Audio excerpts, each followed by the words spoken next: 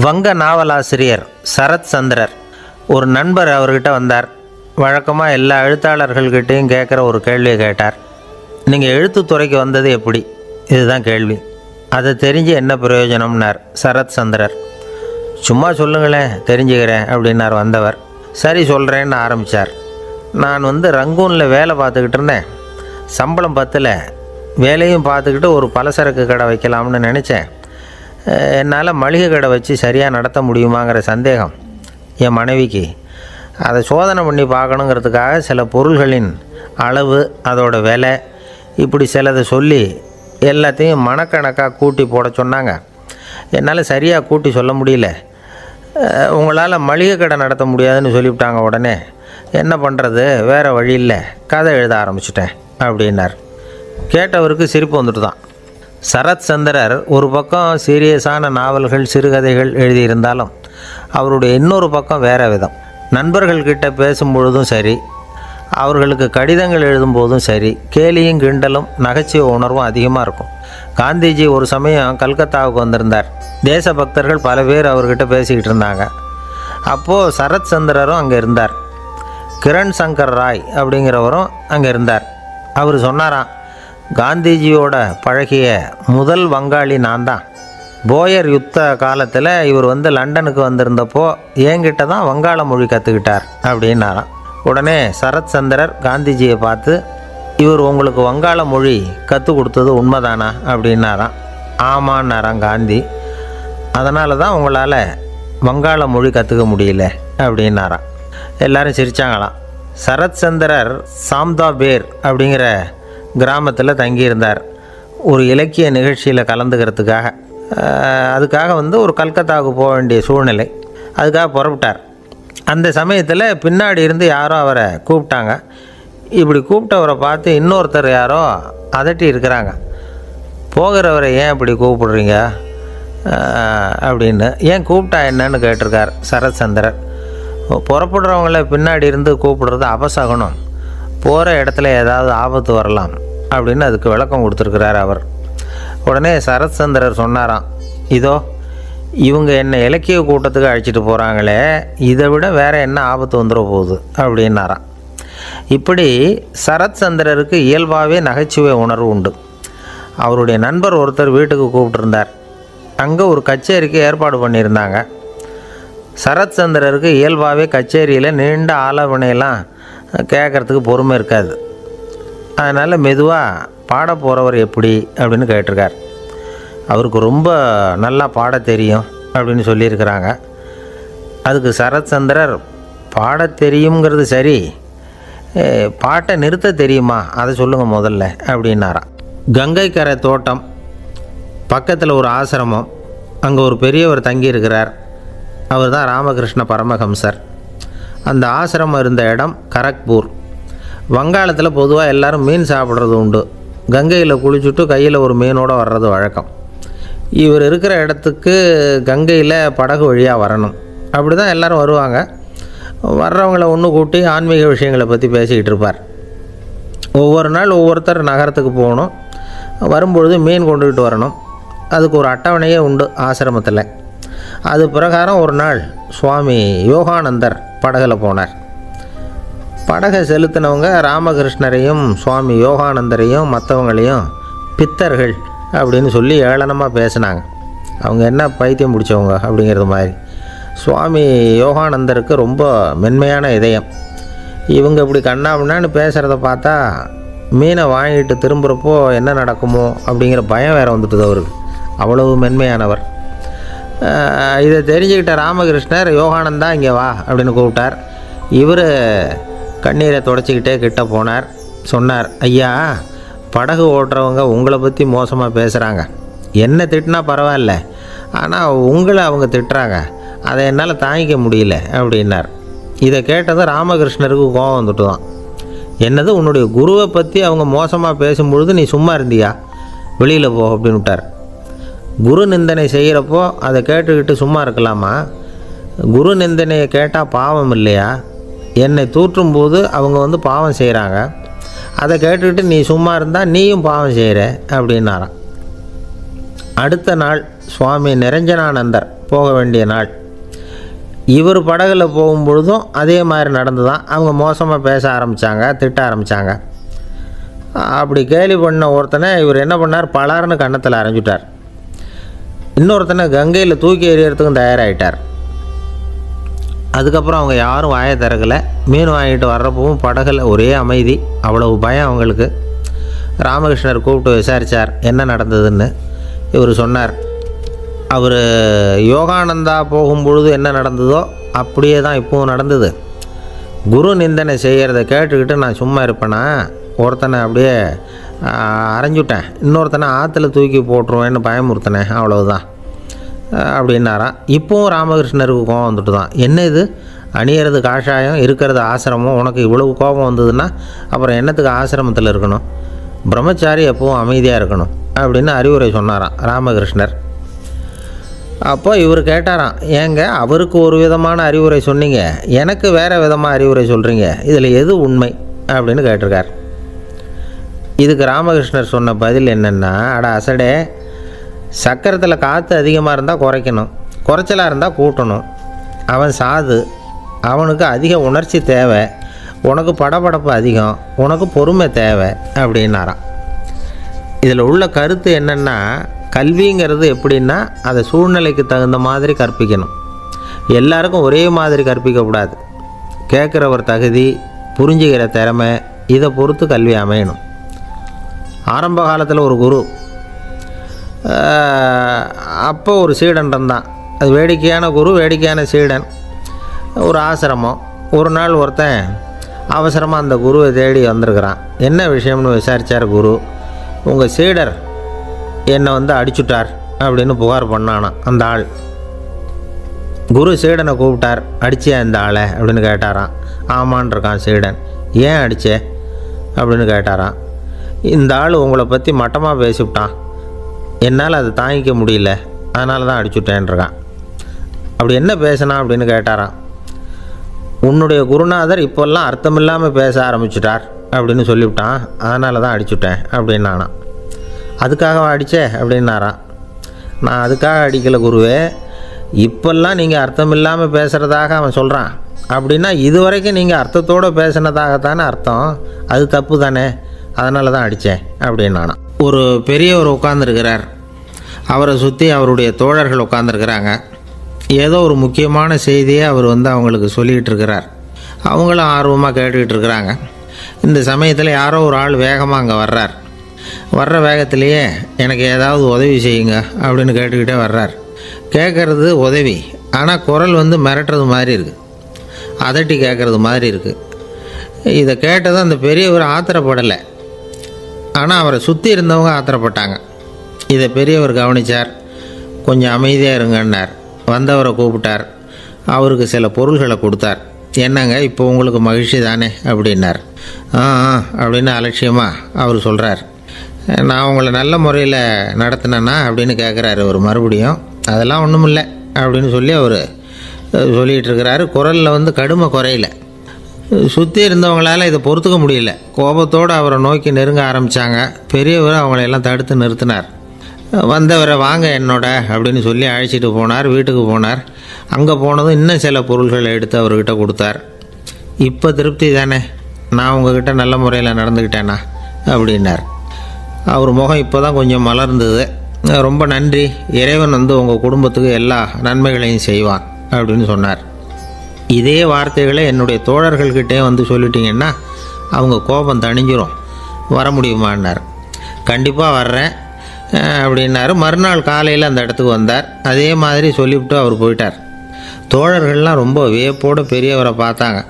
அந்த பெரியவர் தான் நபிகள் நாயகம். அவர் சொன்னார் ஒருத்தன் ரொம்ப ஆசையாக ஒரு ஒட்டகத்தை வளர்த்துக்கிட்டு வந்தான். ஒரு நாள் அந்த ஒட்டகம் வந்து கயத்தை அறுத்துக்கிட்டு ஓடி போயிட்டுது. அக்கம் பக்கத்தில் இருக்கிறவங்கெல்லாம் அந்த ஒட்டகத்தை பிடிக்கிறதுக்கு முயற்சி பண்ணாங்க. அதை துரத்திட்டு ஓடினாங்க. ஒட்டகம் வந்து தாறுமாறாக ஓட ஆரம்பிச்சுது. இந்த சமயத்தில் ஒட்டகத்தை வளர்த்தவன் அங்கே ஓடி வந்தான். நீங்கள் அதை ஒன்றும் செய்ய வேணாம். விட்டுருங்க. அதோட சுபாவம் எனக்கு நல்லா தெரியும். அதை சுலபமாக என்னோட வழிக்கு கொண்டுட்டு வந்துட முடியும். நான் பார்த்துக்கிறேன் விட்டுருங்கோ அப்படின்னா. எல்லாரும் விலைக்கு போயிட்டாங்க. இவன் என்ன செஞ்சான் தெரியுமா? கொஞ்சம் புல்லை கையில் எடுத்துக்கிட்டு அந்த ஒட்டகத்தை நெருங்கினா அவ்வளவுதான். அது ஓடி வந்து இவன் காலடியில் உட்காந்துக்கிட்டது செல்லமாக அதை அப்படியே தடவி கொடுத்தான் முதுகில் ஏறி உட்காந்துக்கிட்டான் அது பாட்டுக்கு சாதுவாக நடந்து போகுது. இந்த கதையை நபிகள் நாயகம் தம்முடைய தோழர்களுக்கு சொல்கிறார் ஒட்டகத்தை மட்டும் இல்லை சில மனிதர்களையும் கூட சில விதத்தில் அணுகி தான் அவர்களை வந்து சீர்திருத்த வேண்டியிருக்குது அப்படிங்கிறத அவங்களுக்கு உணர்த்தினார். இது ஒரு அழகான உளவியல் அணுகுமுறை. சில குடும்ப தலைவர்கள் கூட இந்த ஒட்டகம் மாதிரி நடந்துக்கிறது உண்டு. அப்புறம் அடங்கி போகிறதும் உண்டு. ஒரு குடும்ப தலைவர் காலையில் எழுந்திரிச்சதுலேருந்து சத்தம் போட்டு கத்திக்கிட்டு இருப்பார். பக்கத்தில் இருந்தவங்கெல்லாம் ஓடி போய் சமாதானம் பண்ணி பார்த்தாங்க. அவர் ஓயறது மாதிரி தெரியல. கடைசியில் அவர் மனைவி வந்தாங்க. நீங்கள் எல்லாம் விலைக்கு போயிடுங்க. அவர் சுபாவம் எனக்கு தெரியும். நான் பார்த்துக்கிறேன். அப்படின்னாங்க. சரின்னு எல்லோரும் போயிட்டாங்க. சாயந்தரமாக வந்து பார்க்குறாங்க அவர் சத்தம் இல்லாமல் ஒரு மூலையில் உட்காந்துருக்கிறார் ரொம்ப சாதுவா. ஆச்சரியமாக இருந்தது. என்னம்மா பண்ணீங்கன்னு கேட்டாங்க. அது ஒன்றும் இல்லைங்க ஒரு வேளை சாப்பாட்டை நிறுத்தினேன். பட்னி போட்டேன் அவ்வளவுதான் அப்படின்னாங்க அந்த அம்மா. ஒரு ராஜா ஊரெல்லாம் சுற்றி பார்த்துட்டு வரலாம்னு ஒரு நாள் புறப்பட்டு போனார். ஒரு இடத்துல தறி நெசவு வேலை ரொம்ப மும்முரமாக நடந்துக்கிட்டு இருந்தது. ஒரு பெரியவர் தறியால் நெசவு வேலை செஞ்சுக்கிட்டு இருந்தார். பக்கத்தில் ஒரு அழகான பொண்ணு உட்காந்து நூலை சுற்றிக்கிட்டு இருக்குது.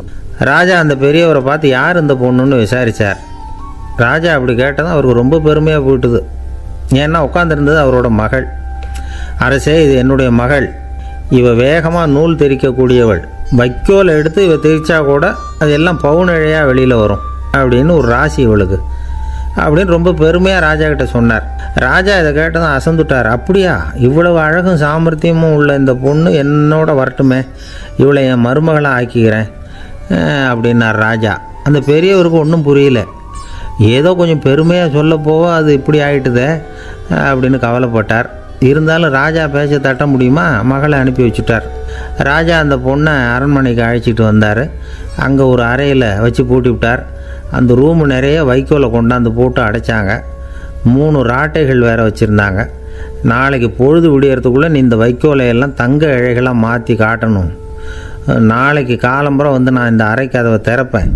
உன் தகப்பன் சொன்னது மாதிரி எல்லாம் தங்கமாக மாறி இருக்கணும். இல்லைன்னா நீ உயிர் தப்ப முடியாது. அப்படின்னு உத்தரவு போட்டார். பாவம் அந்த பொண்ணு என்ன பண்ணும்? பகல் பூரா அழுதுகிட்டே உட்காந்துருக்குது ராத்திரி பூராவும் தூக்கம் வரல.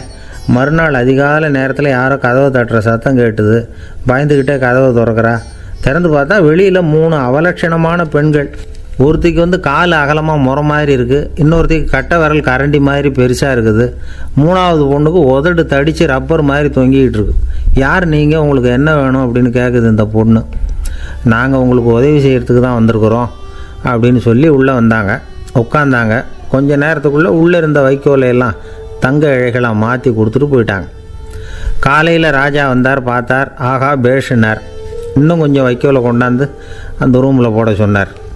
இந்த வைக்கோலையும் இன்றைக்கி தங்கமாக மாற்றி விடு நாளைக்கு மறுநாள் உனக்கும் இளவரசனுக்கும் கல்யாணம்னு சொல்லிவிட்டார். இன்றைக்கி ராத்திரி அந்த மூணு பொண்ணுங்களும் வந்தாங்க. வைக்கோலை பொண்ணு இழைகளாக மாற்றினாங்க புறப்பட்டாங்க இந்த பொண்ணு அவங்க காலில் விழுந்து வணங்கினா என் உசுரை காப்பாற்றுனீங்க உங்களுக்கு நான் என்ன கைமாறு செய்ய போகிறேன் அப்படின்னா பயப்படாத நீ விரும்பினா எங்களுக்கு ஒரு உதவி செய்யலாம். உன்னுடைய கல்யாணத்துக்கு நாங்கள் மூணு பேரும் வரோம். நீ எங்களை வந்து வரவேற்று ராஜாக்கிட்டேயும் இளவரசர்கிட்டேயும் நாங்கள் வந்து உன்னோட பெரியப்பா பொண்ணுங்கன்னு சொல்லி அறிமுகப்படுத்தி வை. நாங்கள் விருந்து சாப்பிட்டுட்டு போயிடுறோம் அப்படின்னாங்க. ரொம்பவும் சந்தோஷமாக சரின்னு ஒத்துக்கிட்டா. கல்யாண நாள் வந்தது. கல்யாணம் ரொம்ப கோலாகலமாக நடந்துக்கிட்டு இருக்கு. எல்லா தேசத்து ராஜா ராணிகளும் வந்துக்கிட்டு இருக்கிறாங்க. அந்த மூணு அவலட்சணமான பொண்ணுங்களும் வந்து சேர்ந்தாங்க. யார் இவங்கன்னு கேட்டார் ராஜா. என் பெரியப்பா பொண்ணுங்க அப்படின்னா அந்த பொண்ணு. காலும் உதடும் கட்டை விரலும் ஏன் இப்படி உங்களுக்கு அவலட்சணம் ஆயிட்டுது அப்படின்னு கேட்டார். அதுக்கு அந்த பொண்ணுங்க பதில் சொன்னாங்க. என்ன செய்கிறது ஓயாமல் வைக்கோலை நூற்று ஒருத்தியோட கட்டை விரல் அப்படி கரண்டி மாதிரி ஆயிட்டுது. நாக்கில் தொட்டு தொட்டு திரிச்சதுனால ஒருத்தியோட உதடு அப்படி ஆயிட்டுது. காலால் கட்டையை அழுத்தி அழுத்தி தறி போட்டதுனால இன்னொருத்தையோட கால் அப்படி ஆயிட்டுது. உங்கள் மருமகளாக வந்திருக்கிற இந்த பொண்ணு அந்த மூணையுமே செய்ய தெரிஞ்சவ தான் என்ன ஆக போதோ இன்னும் கொஞ்ச நாளில் அப்படின்னாங்க. அவ்வளவுதான். ராஜா பயந்துட்டார். அம்மா இன்னையிலேருந்து நீ இளவரசனின் மனைவி. நீ எப்பவும் அழகாக இருக்கணும். அதனால் நீ இனிமேல் வைக்கோலை திரிக்கவே கூடாது அப்படின்னு உத்தரவு போட்டார். அவளை இக்கட்டான சூழ்நிலையிலிருந்து காப்பாற்றின அந்த மூணு பொண்ணுங்களும் சந்தோஷமாக திரும்பி போயிட்டாங்களாம். சுவாமி சின்மயானந்தர் இந்த கதையை சொல்லியிருக்கிறார். தன்னலம் மறந்து சுயலாபத்தை வந்து தியாகம் செய்கிறது வைக்கோல்ல இருந்து தங்க இழையை நூக்கிறது மாதிரி அப்படிங்கிறார் அவர். அது இருக்கட்டும் இப்போ நம்ம கதைக்கு வருவோம். ஒரு ராஜா தன்னோட மகனுக்கு சுயவரம் நடத்தினார். எல்லா தேசத்திலிருந்தும் ராஜகுமாரர்கள் வந்திருந்தாங்க. ராஜகுமாரியை கல்யாணம் பண்ணிக்கலாம்ங்கிற ஆசையில். சுயம்பர மண்டபத்திலேருந்து எல்லா ராஜகுமாரர்களும் அலறி அடிச்சுக்கிட்டு வெளியில் ஓடி வந்துக்கிட்டு இருக்கிறாங்களாம். ஏன் இப்படி எல்லாரும் மிரண்டு போய் ஓடி வர்றாங்கன்னு கேட்டார் ஒருத்தர். அதுக்கு இன்னொருத்தர் விவரம் சொன்னார். ராஜகுமாரியை இன்றைக்கி தான் அவங்க நேரில் பார்த்தாங்களாம். அதுதான் அப்படி ஓடி வந்துக்கிட்டு இருக்கிறாங்க அப்படின்னார். ஒரு தடவை நாரதர் ஒரு தெரு வழியாக போய்கிட்டு இருந்தார். வழியில் ஒருத்தர் வேத சாஸ்திரம்லாம் படிச்சுக்கிட்டு உட்காந்துருந்தார் அவர் நாரதரை பார்த்து எங்கே போயிட்டுருக்குறீங்கன்னு கேட்டார். கடவுளை பார்த்துட்டு வரலாம்னு போயிட்டுருக்குறேன் அப்படின்னார் நாரதர். அப்படின்னா அவர்கிட்ட எனக்கு எப்போ முக்தி கிடைக்கும்னு கேட்டுட்டு வாங்களேன் அப்படின்னார் இவர். சரி கேட்டு வரேன் அப்படின்னு சொல்லிவிட்டு நாரதர் நடந்தார். கொஞ்ச தூரத்தில் ஒரு மரத்தடியில் ஒரு தொழிலாளி செருப்பு தைச்சிக்கிட்டு உட்காந்துருந்தார் அந்த ஆளும் அதே மாதிரி கேட்டுக்கிட்டார். எனக்கு எப்போ முக்தி கிடைக்கும்னு கடவுள்கிட்ட கேட்டுக்கிட்டு வாங்கலேன்னார் அவர்கிட்டையும் சரின்னு சொல்லிவிட்டு நாரதர் நேராக வைகுண்டத்துக்கு வந்து சேர்ந்தார். கடவுளை பார்த்தார். இவங்க ரெண்டு பேரும் சொல்லி அனுப்பின விஷயத்தை பற்றி கேட்டார். அதுக்கு கடவுள் சொன்னார் அந்த செருப்பு தைக்கிற தொழிலாளி உடல் நீத்ததும் உடனே என்னை வந்து அடைவான். ஆனால் அந்த சாஸ்திரம் படித்த ஆள் இப்போதைக்கு என்கிட்ட வந்து சேர மாட்டான் அவன் இன்னமும் பல பிறவிகள் எடுத்து அங்கேயே இருக்க வேண்டியிருக்குது. எப்போ இங்கே வந்து சேருவான்னு எனக்கே தெரியாது அப்படின்னார். நாரதருக்கு இதோட ரகசியம் என்னங்கிறது புரியல. எனக்கு ஒன்றும் புரியலையேன்னாரான் கடவுள்கிட்ட. சீக்கிரம் புரிஞ்சுக்குவே. நீ திரும்பி போகிறப்போ நான் இங்கே வைகுண்டத்தில் என்ன செஞ்சுக்கிட்டு இருக்கேன்னு கேட்டால் ஒரு ஊசியின் துவாரத்தில் ஒரு யானையை கோத்துக்கிட்டு இருக்கிறேன்னு அவங்கக்கிட்ட சொல்லு அப்படின்னார் கடவுள் சிரிச்சுக்கிட்டே. நாரதர் பூமிக்கு திரும்பினார். கடவுளை பார்த்தீங்களா? எப்படி இருக்கார்? அப்படின்னு விசாரித்தார் வேத சாஸ்திரம் படித்தவர் ஓ பகவானா அவர் வந்து யானையை வந்து ஊசியின் காதில் நுழைச்சிக்கிட்டு இருக்கிறார். பார்த்தேன்னார் நாரதர். ஊசி காதில் யானையா? அது எப்படி முடியும்? நீங்கள் சொல்கிறத நான் நம்ப மாட்டேன்னு அவர். சரி இந்த ஆளுக்கு இறைவன் பேரில் நம்பிக்கை இல்லை அப்படிங்கிறத நாரதர் புரிஞ்சுக்கிட்டார். அடுத்தபடியாக அந்த தொழிலாளி இருந்த இடத்துக்கு போனார். இறைவனை பார்த்தீங்களான்னு கேட்டார் அவர். பார்த்தேன். ஒரு ஊசி துவாரத்தில் யானையை கோத்துக்கிட்டு இருந்தார் அப்படின்னு சொல்லிவிட்டு நாரதர் அந்த ஆள் முகத்தை கவனித்தார் அந்த தொழிலாளி இதை கேட்டுட்டு கொஞ்சம் கூட ஆச்சரியப்படலை. அவரால் முடியாத காரியம் கூட உண்டானார். என்ன இப்படி சொல்கிற ஊசியின் துவாரத்தில் யானையை கோக்க முடியும்னு நீ நம்புறியா? அப்படின்னு கேட்டார் நாரதர். நிச்சயமாக நம்புகிறேன்னார் அவர். அது எப்படி? அப்படின்னு கேட்டார் இவர். இதோ பாருங்கள் நான் இந்த ஆலமரத்தடியில் தான் தினமும் உட்காந்துருக்கிறேன் தினமும் இந்த மரத்திலிருந்து எவ்வளவோ பழம் கீழே விழுது. இந்த பழத்தில் இருக்கிற ஒவ்வொரு விதையிலேயும் உள்ள ஒரு ஆலமரம் இருக்குது. ஒரு சின்ன விதைக்குள்ள ஒரு பெரிய ஆலமரம் இருக்க முடியுங்கிறப்ப ஊசி துவாரத்தில் கடவுள் வந்து யானையை நுழைய வச்சாருங்கிறத ஒத்துக்கிறதுல என்ன கஷ்டம் இருக்குது அப்படின்னு ரொம்ப சர்வசாதாரணமாக பதில் சொன்னாராம் அந்த தொழிலாளி. நாரதர் யோசனை பண்ணார். இந்த தொழிலாளி வேத சாஸ்திரங்களையெல்லாம் படிக்கலைன்னா கூட அறிவுபூர்வமாக சிந்திச்சு இறைவனை நம்புகிறான் அதனால தான் கடவுள் இந்த ஆளுக்கு சீக்கிரம் முக்தி கிடைக்கும்னு சொன்னார். அப்படிங்கிறத புரிஞ்சுக்கிட்டாராம். இந்த கதையில் வர்ற கடவுள் நாரதர் வைகுண்டம் இதெல்லாம் ஒரு பக்கம் இருக்கட்டும். ஒரு சின்ன விதைக்குள்ளே ஒரு பெரிய ஆலமரம் தூங்கிக்கிட்டு இருக்கு அப்படிங்கிற உண்மை அந்தரத்தில் ஆயிரம் கிரகங்கள் சுற்றிக்கிட்டு இருக்குங்கிற உண்மை இதெல்லாம் வந்து நாம் பார்த்துக்கிட்டு தானே இருக்கிறோம். இந்த உண்மைகள் வந்து அதிசயமாக நமக்கு தெரியறதுனால அதை வந்து நம்பாமல் இருந்துட முடியாது. இயற்கையை பரிபூர்ணமாக நம்புங்கள். அந்த நம்பிக்கையே நம்ம வாழ்க்கைக்கு ஆதாரம் அப்படிங்கிறத விளக்கிறதுக்காக தான் இந்த கதை. இந்த காலத்தில் நம்ம பிள்ளைங்களுக்கெல்லாம் இது மாதிரி நம்பிக்கை அதிகமாகவே இருக்குது. ஒரு நாள் ஒரு சின்ன பையன்கிட்ட கேட்டேன் ஏன்பா கடவுள் வந்து ஒரு பானைக்குள்ளே ஒரு யானையை நுழைய வச்சுட்டாருன்னு சொன்னால் அதை நீ நம்புவியா? அப்படின்னு கேட்டோம். நம்புவேன் சார் அது ஒன்றும் பெரிய அதிசயம் இல்லைன்னா. எப்படிறான்னு? கேட்டோம். எப்படின்னா அந்த பானை வந்து அந்த யானையை விட பெருசாக இருந்திருக்கும் அவ்வளவுதான் அப்படின்னு சொல்கிறான் ஒரு ஊரில் ஒரு ராஜா இருந்தார். அவர் அடிக்கடி காட்டுக்கு வேட்டையாட போவார். சில நண்பர்களையும் கூட அழைச்சிக்கிட்டு போவார். காட்டுக்கு போனதும் ஆளுக்கு ஒரு பக்கமாக போய் வேட்டையாடுவாங்க. சாயந்தரமாக திரும்பி வருவாங்க. மறுநாள் அரண்மனையில் உட்காந்து ஒவ்வொருத்தரும் அவங்க அனுபவங்களை எல்லாம் சொல்லிக்குவாங்க. அவங்கவுங்க வீரத்துக்கு தகுந்த மாதிரி பரிசை அந்த ராஜா கொடுப்பார். இது மாதிரி ஒரு தடவை எல்லோரும் எல்லாரும் வேட்டைக்கு போயிட்டு திரும்பி வந்ததும் உட்காந்து பேச ஆரம்பிச்சிருக்கிறாங்க. ஒருத்தன் சொன்னான் தன்னுடைய வீர தீர செயலை பற்றி அளக்க ஆரம்பிச்சிட்டான். ஏன்னா அது அதுக்கு பரிசு கிடைக்க போகுதில்ல அதனால். அவன் என்ன சொன்னான் தெரியுமா? அரசே நேற்றுக்கு காட்டில் என்னாச்சு தெரியுமா? எனக்கு நேராக ஒரு சிங்கம் வாயை திறந்துக்கிட்டு வந்துட்டுது. நான் பயப்படவே இல்லை. உடனே ஒரு கல்லை எடுத்து குறி பார்த்து வீசினேன். சிங்கத்து வாய்க்குள்ளே போய் அந்த கல் மாட்டிக்கிட்டுது. அவ்வளவுதான். அந்த சிங்கம் என்னை பார்த்துட்டு பயந்துட்டு ஒரே ஓட்டமாக திரும்பி ஓடி போயிட்டுது அப்படின்னா ஆஹா பலே அப்படின்னு எல்லாரும் கை தட்டினாங்க. ரெண்டாவது ஆள் ஒருத்தன் எழுந்திரிச்சான். அவன் சொல்ல ஆரம்பித்தான் அரசே நான் போன வழியில் ரெண்டு பெரிய மலை பாம்பு கிடந்தது. என்னை முழுங்கிறதுக்கு வந்தது. நான் என்ன பண்ணேன் தெரியுமா? அந்த ரெண்டு பாம்போட வாலையும் ஒன்றா சேர்த்து முடிச்சு போட்டுட்டேன். அவ்வளவுதான். அது அங்கே இழுக்க இது இங்கே இழுக்க முடிச்சு நல்லா இறுகி போட்டுது அப்படின்றான். ஆஹா அற்புதம்னு சொல்லி எல்லாரும் கை தட்டினாங்களாம். அடுத்தபடியாக மூணாவது ஆள் ஒருத்தன் வந்தான். அவன் சொல்ல ஆரம்பித்தான் மன்னா நான் போன பாதையில் குறுக்க ஒரு ஆறு. அதில் இறங்கி குளித்தேன் யாரோ காலை பிடிச்சி இழுக்கிறது மாதிரி இருந்தது. திரும்பி பார்த்தா ஒரு பெரிய முதலை. நான் உடனே அப்படியே ஒரு துள்ளல் துள்ளி அது முதுகில் போய் உக்காந்துக்கிட்டேன். அதை அப்படியே கரைக்கு நீந்த வச்சேன். கரைக்கு வந்து சேர்ந்ததும் அப்படியே ஒரே துள்ளா துள்ளி குதித்து கரைக்கு வந்துட்டேன் அப்படின்றான் அவன் தன்னுடைய வீரத்தை அப்படி சொல்லியிருக்கான். அடடா எப்பேற்பட்ட வீரம் அப்படின்னு எல்லாரும் கை தட்டினாங்களாம். நாலாவது ஆள் எழுந்திரிச்சான். மண்ணா நான் போன இடத்துல ஒரு கரடி வந்து என்னை துரத்த ஆரம்பிச்சுட்டுது. நான் ஒரு மலை உச்சிக்கு வந்துட்டேன். அதுக்கப்புறம் ஒரு அடி எடுத்து வச்சாலும் அதில் பாதாளத்தில் விழ வேண்டியது தான். அந்த நேரம் பார்த்து ஒரு பெரிய ராட்சச கழுகு அந்த பக்கமாக பறந்து வந்தது. நான் உடனே அப்படியே உயர எழும்பி அந்த கழுகோட காலை பிடிச்சிக்கிட்டேன். அப்படியே தொங்கிக்கிட்டே வந்தேன்.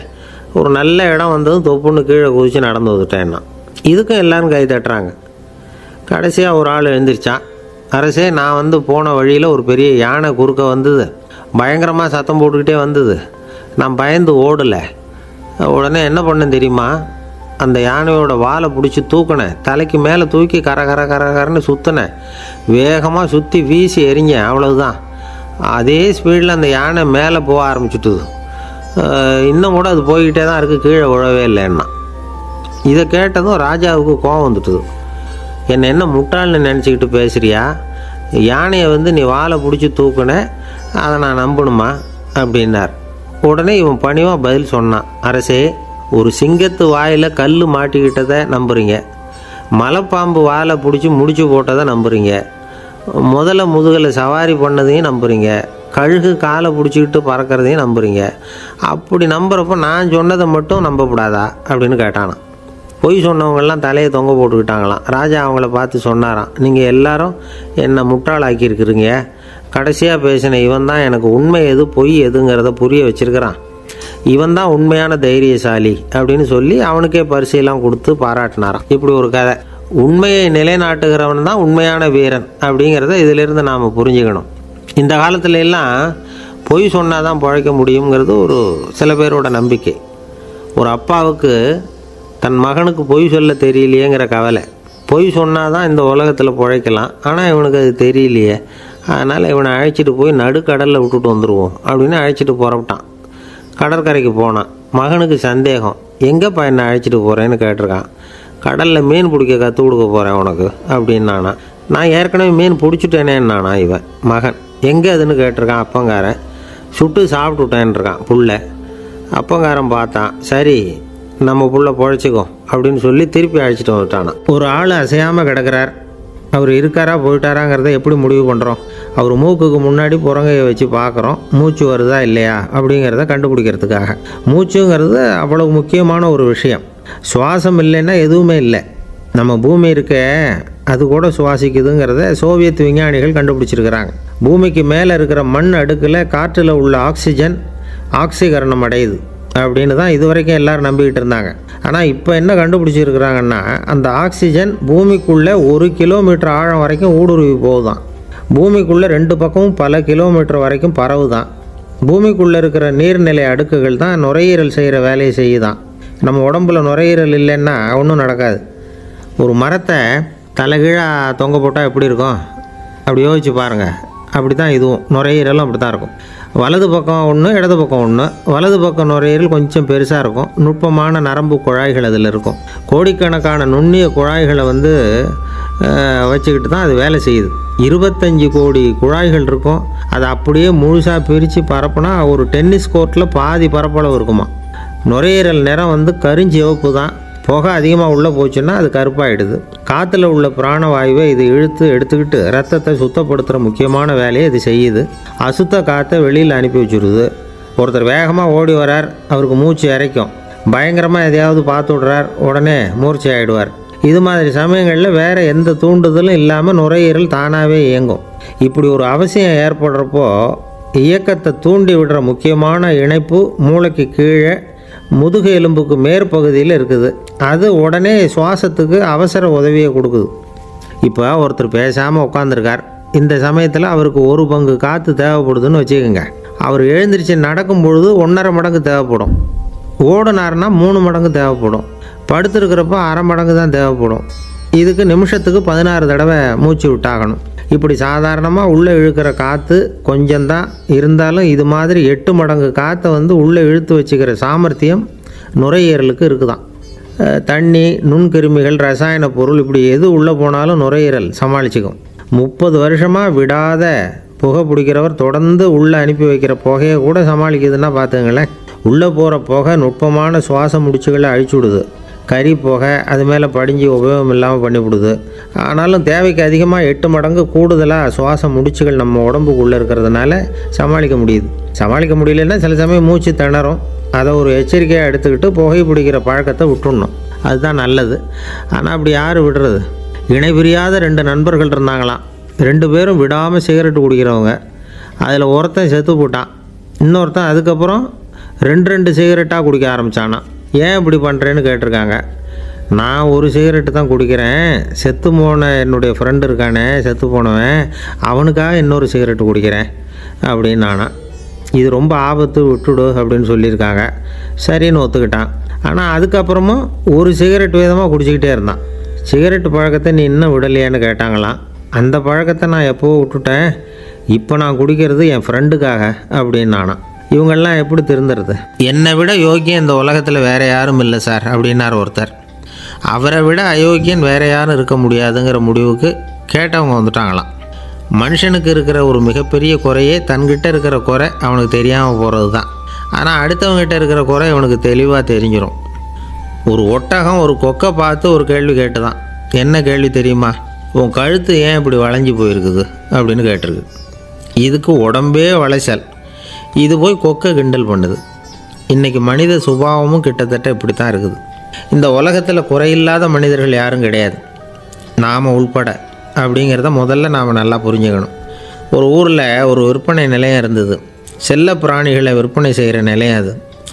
நாய் கிளி பூனை இப்படி நிறைய வச்சு விற்பனை பண்ணிகிட்டு இருக்கிறாங்க. நாய்க்குட்டி விற்பனை செய்கிற பகுதியில் ஒரு சிறுவன் நின்றுக்கிட்டு இருந்தான். விற்பனை செய்கிற ஆளுகிட்ட விலை கேட்டுக்கிட்டு இருந்தான். அதுவும் இருக்குதே அந்த நாய்க்குட்டி என்ன விலை அப்படின்னு கேட்டானா. ஆயிரம் ரூபா அப்படின்னாராம் சரி அது வேணாம் இது என்ன விலைன்றிருக்கான். ஐநூறுரூவா அப்படின்னாராம் இந்த சின்ன பையன் கையில் வச்சுருந்தது வெறும் ஐம்பது ரூபா தான். அதனால் இதை விட குறைச்சலாக கிடைக்குமான்னு பார்த்துருக்கான். அந்த கடையில் ஒரு மூலையில் சரியாக கவனிக்கப்படாமல் ஒரு நாய்க்குட்டி படுத்து கிடந்தது. பாவமாக கத்திக்கிட்டு இருந்தது. அதை பார்த்ததுமே இவனுக்கு அது ரொம்ப பிடிச்சி போச்சு. உடனே அந்த கடைக்காரரை பார்த்து அதுவும் அந்த மூலையில் படுத்து கிடக்குதே. அந்த நாய்க்குட்டி என்ன விலை? அப்படின்னு கேட்டிருக்கான்.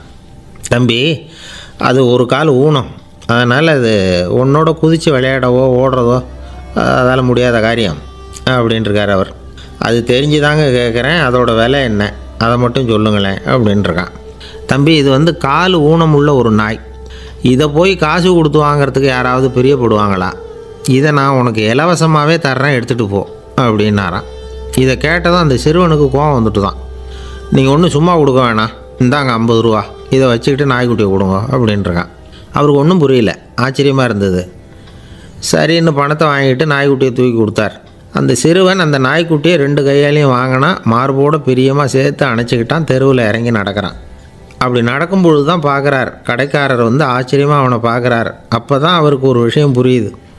அந்த சிறுவன் தெருவில் நாய்க்குட்டியை மார்போடு அணைச்சிக்கிட்டு விந்தி விந்தி நடந்து போய்கிட்டு இருக்கிறான். ஆமாம் அவனுக்கும் ஒரு கால் ஊனும் இந்த நாய்க்குட்டியை யாருமே வாங்க மாட்டாங்கன்னு நினச்சிக்கிட்டு இருந்தார். குறையுள்ள அதுக்கும் ஒரு எஜமானன் கிடச்சிட்டான். அதனால் ஊனம் ஒரு குறை இல்லை அப்படிங்கிற உண்மையை அந்த கடைக்காரர் புரிஞ்சுக்கிட்டாராம். நம்மால் ஒருத்தர் கொஞ்சம் வயசானவர் எழுந்திரிச்சு சரியாக நடக்க முடியாது சாய்வு நாற்காலியிலேயே எப்பவும் உட்காந்துருப்பார் அவர் தனக்கு துணையாக ஒரு நாயை பக்கத்தில் வச்சுருந்தார். அதுவும் ரொம்ப வயசான ஒரு நாய் எழுந்திரிக்கவே சிரமப்படும் நடக்கவும் முடியாது. அவர் பக்கத்துலேயே இதுவும் சோர்ந்து போய் படுத்து கிடக்கும். அந்த பெரியவரை பார்க்க வந்த ஒருத்தர் கேட்டார்.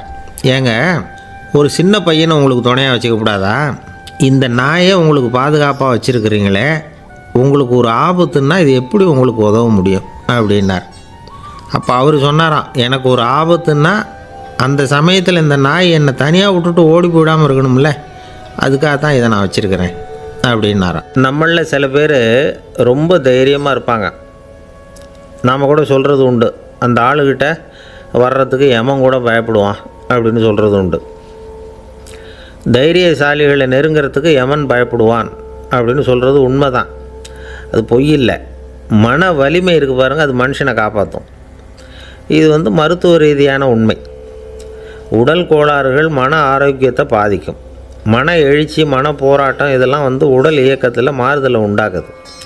சில வகையான நோய்களுக்கும் மனசுக்கும் இருக்கிற சம்பந்தம் என்னங்கிறத பற்றியெல்லாம் இப்போ ஆராய்ச்சி பண்ணுறாங்க ஆஸ்மா மூட்டு வலி பெருங்குடல் அழற்சி உயர் ரத்த அழுத்தம் சோரியாசிஸுங்கிற தோல் வியாதி வயிற்று புண்ணு இந்த தைராய்டு நச்சுத்தன்மை இது மாதிரி நோய்களை உண்டாக்குறதுல மனசோட பங்கு என்னங்கிறத பற்றியெல்லாம் ஆய்வு பண்ணி பார்த்துருக்குறாங்க.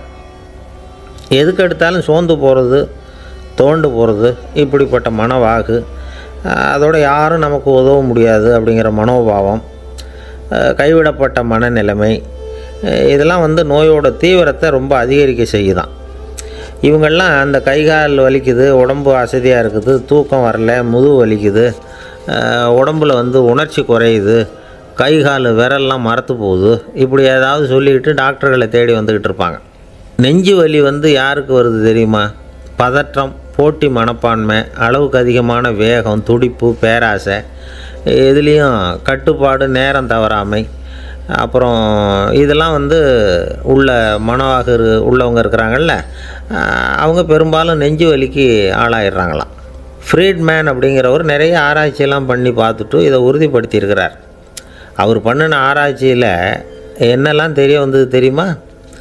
பொறுப்பு அதிகம் உள்ளவங்களுக்கு கண்டிப்பாக ரத்த அழுத்தம் வரும். அதிகமாக இருக்குமா? அதே மாதிரி கண்டிப்பாக இருக்கிறாங்கல்ல அவங்களுக்கும் ரத்த அழுத்தம் அதிகரிக்குமா? ரத்த அழுத்தம் தனக்கு அதிகமாக இருக்குங்கிறத தெரிஞ்சுக்கிட்டவங்க தலைவலி மயக்கம் இந்த தலை சுத்தல் அசதி இது மாதிரியான உணர்வுகளை வந்து அவங்களுக்கு வந்துடும் அது மாதிரி உணர்வு. ஆனால் உண்மை என்ன தெரியுமா? இதெல்லாம் வந்து ரத்த அழுத்தத்தினால இல்லை. ரத்த அழுத்தம் கட்டுப்பாட்டுக்குள்ளே இருந்தால் கூட இவங்க இப்படி நினைக்கிறாங்களாம். இதுக்கு காரணம் மனசு தான் அப்படிங்கிறார் அவர். சில பேர் எப்படி தெரியுமா? ஒருத்தர் வந்து மாரடைப்பால் இறந்து போனார் அப்படின்னு கேள்விப்பட்டால் போதும். இறந்து போகிறதுக்கு காரணம் இதயம்தான் அப்படிங்கிற பீதியால் இதய தளர்ச்சி அப்படிங்கிற மனநோயால் பாதிக்கப்படுறார். இவங்கெல்லாம் அடிக்கடி தங்களுடைய இதய பகுதியை தொட்டு பார்த்துக்குவாங்க. நாடியை பிடிச்சி பார்த்துக்குவாங்க. அடிக்கடி மூச்சை உள்ளுக்கு இழுத்து வெளியில் விட்டு வலி வருதா அப்படின்னு பார்த்துக்கிட்டு இருப்பாங்க. வேறு எங்கேயாவது வலிச்சா கூட நெஞ்சை வலிக்குதா? அப்படின்னு பார்ப்பாங்க. நெஞ்சு வலிக்குதுன்னு கூட சில பேர் சொல்ல ஆரம்பிச்சிருவாங்க. ஒரு விவசாயி விதைக்கிறதுக்காக வயல்வெளி பக்கம் போகிறார் விதைகளை அள்ளி வீசினார். அப்போ என்ன ஆச்சுன்னா சில விதைகள் வந்து பாதை ஓரத்தில் விழுந்தது. சில விதைகள் முள் செடிகள் மண்டி இருந்த புதருக்கு இடையில் விழுந்தது. சில விதைகள் நல்ல நிலத்தில் விழுந்தது. பாதை ஓரத்தில் விழுந்த விதை என்ன ஆச்சுன்னா அதெல்லாம் பறவைகள் கண்ணில் போட்டுட்டுது. உடனே வந்து உட்காந்து கொத்தி தின்னுட்டு போட்டுது. அதிகமாக மண் இல்லாத பாறை பகுதியில் விழுந்த விதையெல்லாம் லேசாக வேர் விட்டு முளைக்க ஆரம்பிச்சுது. அதுக்கப்புறம் வேர் கீழேயும் ஆழமாக போக முடியல. மேலேயும் சூரிய வெப்பம் அதிகம் தாங்க முடியல. எல்லாம் காஞ்சி கருகி போட்டுது. புதர் பகுதியில் சில விதைகள் விழுந்தது இல்லையா? முள் செடிகள் காடாக மண்டி போயிருந்தது. அதனால் முளைச்சி வர்ற செடிக்கு நெருக்கடி அதிகமாக போட்டுது. சரியாக வளர முடியல. விளைச்சலும் சரியாக இல்லை. நல்ல நிலத்தில் விழுந்த விதைகள் மட்டும் நல்லா முளைச்சிது நல்லா வளர்ந்தது. விளைச்சலும் பிரமாதமாக இருந்தது. இந்த கதையை சொல்லிவிட்டு கேட்க செவியுள்ளோர் கேட்கட்டும் அப்படிங்கிறார் இயேசு பெருமான். ஆமாம் இயேசு கடலில் நின்ற படகு ஒன்றில் உட்காந்துருக்கிறார் கடற்கரையில் ஏராளமான மக்கள் உட்காந்துருக்கிறாங்க அந்த சமயத்தில் தான் இயேசு வந்து ஓமைகள் மூலமாக மக்களுக்கு பல உண்மைகளை சொல்லிகிட்டு இருக்கிறார். மக்கள் அந்த கதையை கேட்டுட்டு ஒன்றும் புரியாமல் முழிக்கிறாங்க. அதை கவனித்த இயேசு அந்த ஓமையை விளக்க ஆரம்பித்தார் இதில் அந்த விதைக்கிறவர் தான் இறைவன். அவருடைய வார்த்தைகளை விதைக்கிறார். அந்த வார்த்தைகளை கேட்கிற மக்கள் அந்த விழுந்த விதைகள் மாதிரி நாலு வகையானவர்கள். சில பேர் பாதை ஓரத்தில் விழுந்த விதைகள் மாதிரி இறைவன் வார்த்தைகளை அவங்க கேட்குறாங்க ஆனால் தீய எண்ணங்கள் செய்கைகள் மூலமாக விதைக்கப்பட்ட வார்த்தைகள் அழிஞ்சு போடுது. இறைவன் வார்த்தைகளை கேட்ட உடனே மகிழ்ந்து போய் உடனே சில பேர் அதை ஏற்றுக்கிறாங்க இவங்கெல்லாம் அந்த பாறை பகுதியில் விழுந்த விதைகள் மாதிரி. அதனால் இவங்கெல்லாம் வேறு இல்லாதவங்க. கொஞ்ச காலத்துக்கு இறை வார்த்தைகளுக்கு கீழ்ப்படிந்து நடப்பாங்க. அதனால் ஏதாவது இடைஞ்சல் ஏற்பட்டால் உடனே தடுமாறுவாங்க. தங்கள்கிட்ட இருக்கிற நல்ல பண்புகளை விட்டுட்டு பாவ வழிகளுக்கு போயிடுவாங்க. முள் செடிகளுக்கு இடையில் விழுந்த விதைகள் மாதிரி உள்ளவங்க யாருன்னா இவங்களுக்கு உலக கவலை உண்டு. செல்வத்தின் மீது மயக்கம் உடையவர்கள். உலக ஆசைகள் இவங்களுக்குள்ளே பூந்துடுறதுனால அங்கே இருக்கிற நல்ல பண்புகள் வந்து மறைஞ்சு போயிடுது. அதனால் அவங்களும் உபயோகம் இல்லாதவங்களாக ஆயிடுறாங்க. நல்ல மனிதர்கள் நல்ல நிலத்தில் விழுந்த விதைகளுக்கு ஒப்பானவர்கள். இவங்க வந்து இறை வார்த்தையை கேட்குறாங்க அதை ஏற்றுக்கிறாங்க அவங்களும் நல்லபடியாக வாழ்கிறாங்க அடுத்தவங்களுக்கும் உபயோகமாக இருப்பாங்க. இதுதான் இயேசு சொன்ன விளக்கம். நல்ல வார்த்தைகளை கேளுங்கள் நல்ல வார்த்தைகளை ஏற்றுக்கொள்ளுங்கள். அடுத்தவங்களுக்கு உபயோகமாக இருங்க. இதுதான் பெரியவங்கள்லாம் நமக்கு சொல்லுகிற உபதேசம். ஒரு அப்பா தன்னுடைய மகனுக்கு உபதேசம் பண்ணார். இதை பாருப்பா நல்ல வார்த்தைகளை கேட்கணும்.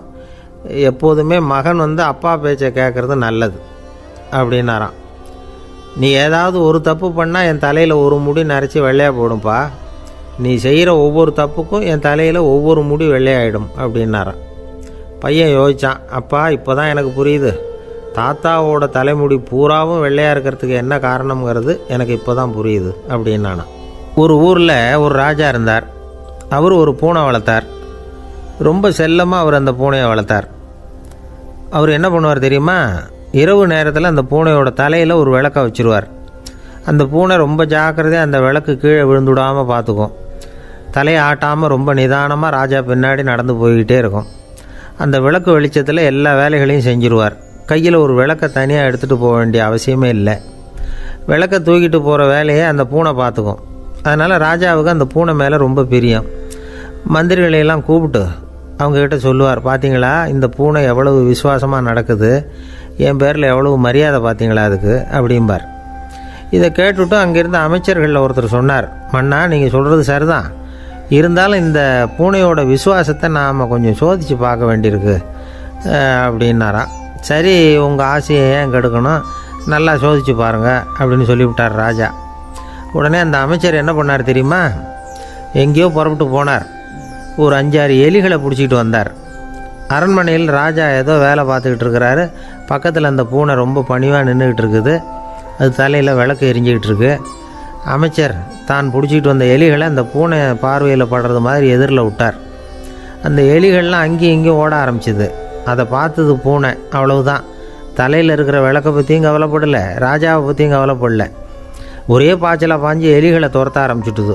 தலையில் இருந்த விளக்கு எங்கேயோ போய் விழுந்தது அணைஞ்சு போச்சு. இருட்டில் ராஜா தடுமாற ஆரம்பிச்சுட்டார். இந்த சமயத்தில் அந்த அமைச்சர் மறுபடியும் விளக்கை ஏற்றினார் வெளிச்சம் வந்தது. அதுக்கப்புறம் அந்த அமைச்சர் பேசினார் அரசே பூனையோட விசுவாசத்தை பார்த்தீங்களா? எலி அது கண்ணில் படுற வரைக்கும் தான் விசுவாசமாக இருந்தது. அது மாதிரி எலியை பார்த்ததும் எல்லாத்தையும் விட்டுட்டு அதை துரத்த ஆரம்பிச்சுட்டு பார்த்தீங்களா?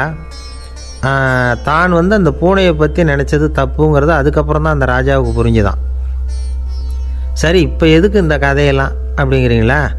இந்த பூனை மாதிரி தான் நம்ம மனசும். மனசை வந்து எவ்வளவு தான் பயிற்சி கொடுத்து பக்குவமாக வச்சுருந்தாலும் பார்க்குறதுக்கு பரமசாது மாதிரி தான் இருக்கும். பார்க்க வேண்டியதை பார்த்துட்டுதுன்னா பாஞ்சிரும். இந்த பூனை மாதிரி. புலன் இன்பப் பொருள்கள் கிட்டாத வரைக்கும் மனம் அடங்கி இருக்கிறது மாதிரி தான் தெரியும். கொஞ்சம் வாய்ப்பு கிடைச்சாலும் அது குதிக்க ஆரம்பிச்சிரும். தப்பு பண்ண ஆரம்பிச்சிரும். பெரிய பெரிய முனிவர்கள் வாழ்க்கையில் நடந்த வீழ்ச்சி இதை தான் நிரூபிக்குது. புலன்களின் ஆற்றல் அதிகம். அதனால் மனக்கட்டுப்பாடு பயிற்சிகளில் ரொம்ப எச்சரிக்கையாக இருக்கணுங்கிறார் சுவாமி சிவானந்தர்.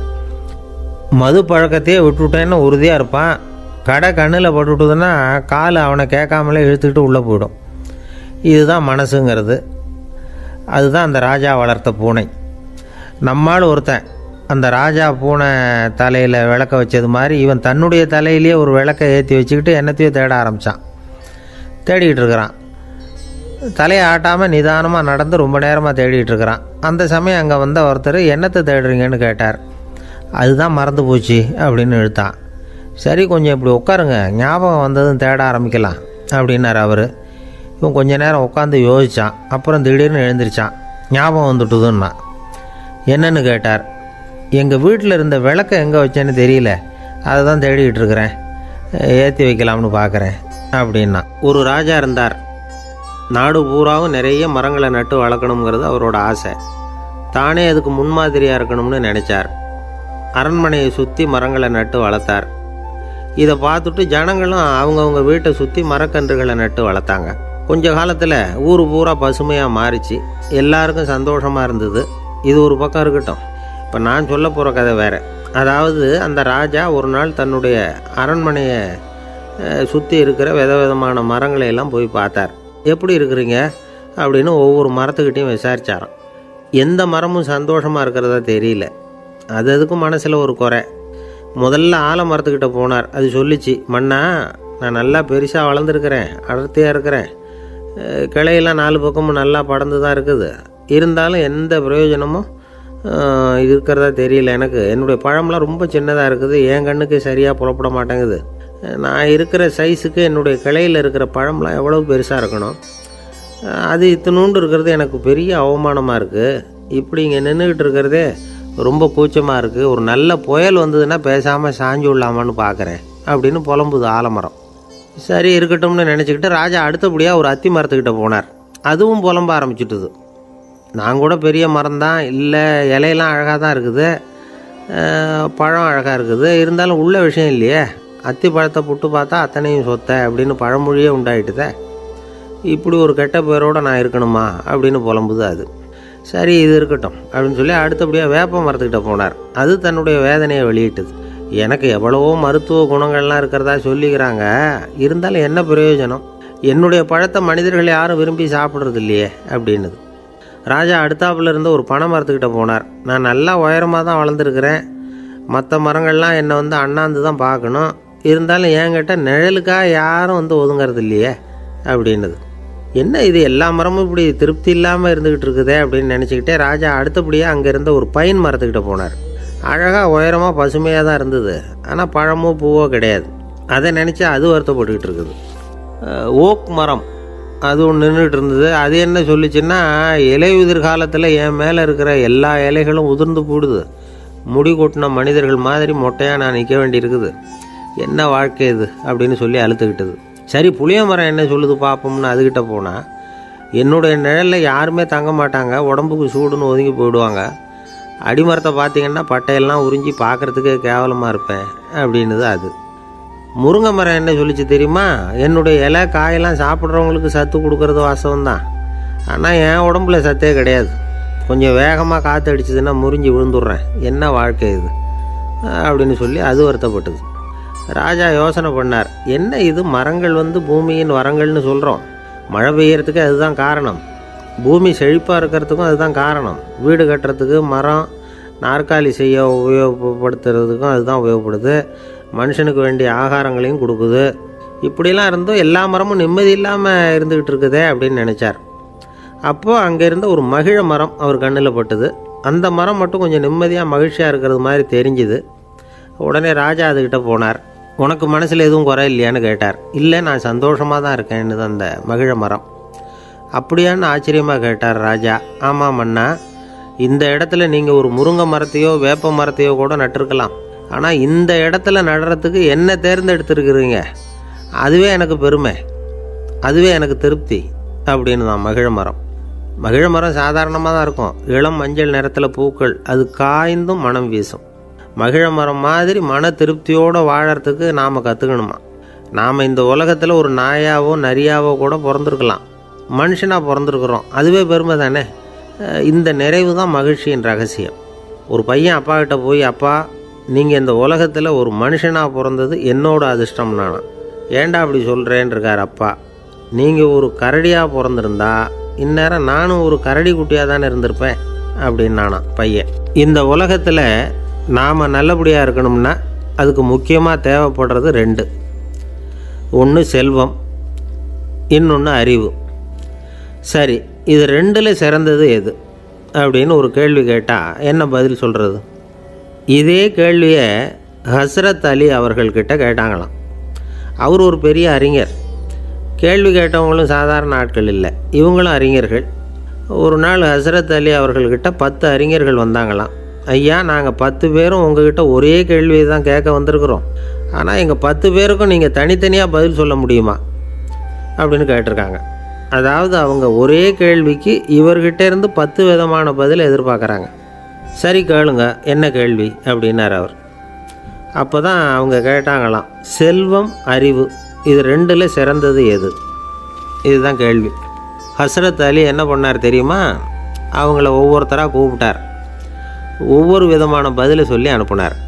முதல்ல ஒருத்தரை கூப்பிட்டார் சொன்னார் அறிவுங்கிறது தீர்க்கதரிசிகள் ஞானிகள் மகான்கள் இவங்களோட பரம்பரை சொத்து. ஆனால் செல்வம்ங்கிறது கொடுங்கோலரின் ஆயுதம். அதனால் அறிவு தான் சிறந்தது அப்படின்னார். ரெண்டாவது ஆளை கூப்பிட்டார் உங்ககிட்ட செல்வம் இருந்தால் நீங்கள் தான் அதை காப்பாற்றணும் ஆனால் அறிவு வந்து உங்களை எப்பவும் காப்பாற்றும் ஆகவே அறிவு தான் சிறந்தது அப்படின்னார். மூணாவது ஆளை கூப்பிட்டார் செல்வந்தனுக்கு எப்போதும் விரோதிகள் அதிகம். ஆனால் அறிஞனுக்கு நண்பர்கள் அதிகம். அதனால் அறிவு தான் சிறந்ததுன்னார். அடுத்தவரை கூப்பிட்டார். செல்வம் அடுத்தவங்களுக்கு கொடுக்க கொடுக்க குறையும். ஆனால் கல்விங்கிறது அதிகரிச்சுக்கிட்டே வரும். கொடுக்கறதுனால குறையாது. அதனால் அறிவு தான் சிறந்ததுன்னார். இன்னொருத்தரை கூப்பிட்டார். அறிவுள்ளவன் எப்பவும் வந்து அதை அடுத்தவங்களுக்கு வாரி வழங்கிக்கிட்டே இருப்பான். அதனால் அவங்ககிட்ட தாராளத்தன்மை இருக்கும். ஆனால் செல்வந்தன்கிட்ட கஞ்சத்தனம் தான் இருக்கும். அதனால் அறிவு தான் சிறந்ததுன்னார். ஆறாவது நபரை கூப்பிட்டார். செல்வத்தை வந்து கல்லூர்கள் திருடிட்டு போக முடியும். ஆனால் அறிவை வந்து அப்படி திருடிட்டு போக முடியாது அப்படின்னார். ஏழாவது நபரை கூப்பிட்டார். செல்வம் வந்து கால ஓட்டத்தில் அழிஞ்சிரும். ஆனால் அறிவை வந்து கால ஓட்டம் ஒன்றும் பண்ண முடியாது. ஆகவே அறிவே சிறந்ததுன்னார். எட்டாவது ஆளை கூப்பிட்டு சொன்னார். செல்வத்துக்கு எப்பவும் எல்லை உண்டு நிறை உண்டு அளவு உண்டு கணக்கு உண்டு. ஆனால் அறிவுக்கு அப்படிப்பட்ட எல்லை எதுவும் கிடையாது. அதனால் அதுதான் சிறந்ததுன்னார். அடுத்தவனை கூப்பிட்டார். செல்வம் வந்து உள்ளத்தில் உள்ள ஒளியை வந்து போக்கிவிடும் இருட்டை உண்டாக்கிவிடும் விரிந்த மனப்பான்மையை வந்து குறுகலாக்கிவிடும். ஆனால் அறிவு அப்படி இல்லை. இருண்ட உள்ளத்தில் ஒளியை பாய்ச்சி அதை விசாலப்படுத்துது. அதுதான் சிறந்ததுன்னார் கடைசியாக பத்தாவது நபரை கூப்பிட்டார். செல்வம் வந்து மனசில் செருக்கை உண்டாக்குது ஆணவத்தை ஏற்படுத்துது. அதனால் நானே கடவுள்னு நினைக்கிற அளவுக்கு மனுஷனை வந்து தாழ்த்தி விடுது. ஆனால் அறிவு வந்து பணிவையும் பண்பாட்டையும் வளர்க்குது. அதனால் அறிவு தான் சிறந்ததுன்னார் ஆக இப்படி பத்து பேருக்கும் பத்து விதமாக பதில் சொன்னது மூலமாக ஹஸ்ரத் அலி அவர்கள் அறிவு தான் செல்வத்தை விட சிறந்தது அப்படிங்கிறதுக்கு பத்து காரணங்களை சுட்டி காட்டியிருக்கார் அந்த அறிஞர் பத்து பேர் கேட்ட ஒரே கேள்விக்கு பத்து பதில் சொன்னார். நமக்கு வேண்டிய ஒருத்தர் பத்து பேர் கேட்ட கேள்விக்கு ஒரே பதில் சொல்லி சமாளித்தார் கேள்வி என்ன தெரியுமா? என்கிட்ட வாங்கின கடனை எப்போயா திருப்பி கொடுக்க போகிறேன் இதுதான் அந்த பத்து பேரும் கேட்ட ஒரே கேள்வி. இந்த மாதம் இருபத்தி ஆறாம் தேதி தந்துடுறேன் அப்படிங்கிற ஒரே பதில் சொல்லி அவ்வளவு பேரையும் இவர் அனுப்பி வச்சுட்டாராம். எல்லாரும் போனதுக்கப்புறம் இவரை தனியாக கூப்பிட்டு கேட்டிருக்கிறாங்க. அது என்ன சார் கணக்கு? இருபத்தி ஆறாம் தேதி. அன்னைக்கு என்ன அதிசயம் நடக்க போகுது அப்படின்னு கேட்டிருக்காங்க. அதிசயம் அன்னைக்கு இல்லை. அதுக்கு முத நாளே நடக்க போகுதுன்னாராம். விவரமாக சொல்லுங்கன்னு இருக்காங்க வேறு ஒன்றும் இல்லைங்க. இருபத்தி ஆறாம் தேதி தானே எல்லாரையும் வர சொல்லியிருக்கிறேன். அதுக்கு முத நாளே நான் புறப்பட்டு தலைமறைவாயிட போகிறேன் அப்படின்னாராம் ரொம்ப பெருமையாக துருக்மேனியாவில் அஷ்காபாத் அப்படின்னு ஒரு நகரத்தில் ஒரு புவியியல் விஞ்ஞானி இருந்தார். அவர் ஒரு நாய்க்குட்டி வளர்த்தார். ஒரு நாள் முன்னிரவு நேரம் ஒரு மேஜைக்கு முன்னாடி உட்காந்து அந்த விஞ்ஞானி ஏதோ கணக்கு போட்டுக்கிட்டு இருக்கிறார். அவருக்கு ஒரு சின்ன பெண் குழந்தை. அது தொட்டிலில் தூங்கிட்டு இருக்குது. அந்த நாய்க்குட்டியும் ஒரு மூலையில் படுத்து அது பாட்டுக்கு தூங்கிட்டு இருந்தது. ஒரே அமைதி. அந்த நேரத்தில் திடீர்னு அந்த நாய்க்குட்டி துள்ளி எழுந்திரிச்சது. நேராக குழந்தைகிட்ட ஓடிச்சு. அந்த குழந்தைய அது போட்டிருந்த ட்ரெஸ்ஸோடு சேர்த்து கவ்வி தூக்குச்சு. தூக்கிக்கிட்டு வாசல் பக்கம் ஓடிச்சு. நாய்க்குட்டி குழந்தைய கவ்வி தூக்க முடியுமாங்கிற சந்தேகம் உங்களுக்கு இல்லையா? நீங்கள் வந்து நம்ம ஊர் நாய்க்குட்டியவே பார்த்து பழக்கப்பட்டிருக்கீங்க. அதனால் நம்புறதுக்கு சிரமமாக இருக்கும். அந்த ஊர்ல எல்லாம் அது வந்து ரொம்ப ஸ்ட்ராங்காக இருக்கும். ஒரு ஏதோ கண்ணுக்குட்டி மாதிரி இருக்கும். விஞ்ஞானி அதை பார்த்துட்டார். உடனே அந்த நாய்க்கு வந்து வெறி பிடிச்சிட்டுதுன்னு முடிவு பண்ணிவிட்டு தன்னோட கை துப்பாக்கி எடுத்தார். எடுத்துக்கிட்டு ஓடி வந்தார்.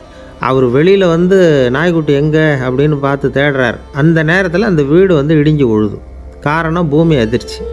இப்படி பூமி அதிர்ச்சி உண்டாக போகுதுங்கிறது அந்த நாய்க்குட்டிக்கு முன்னாடியே தெரிஞ்சு போச்சு.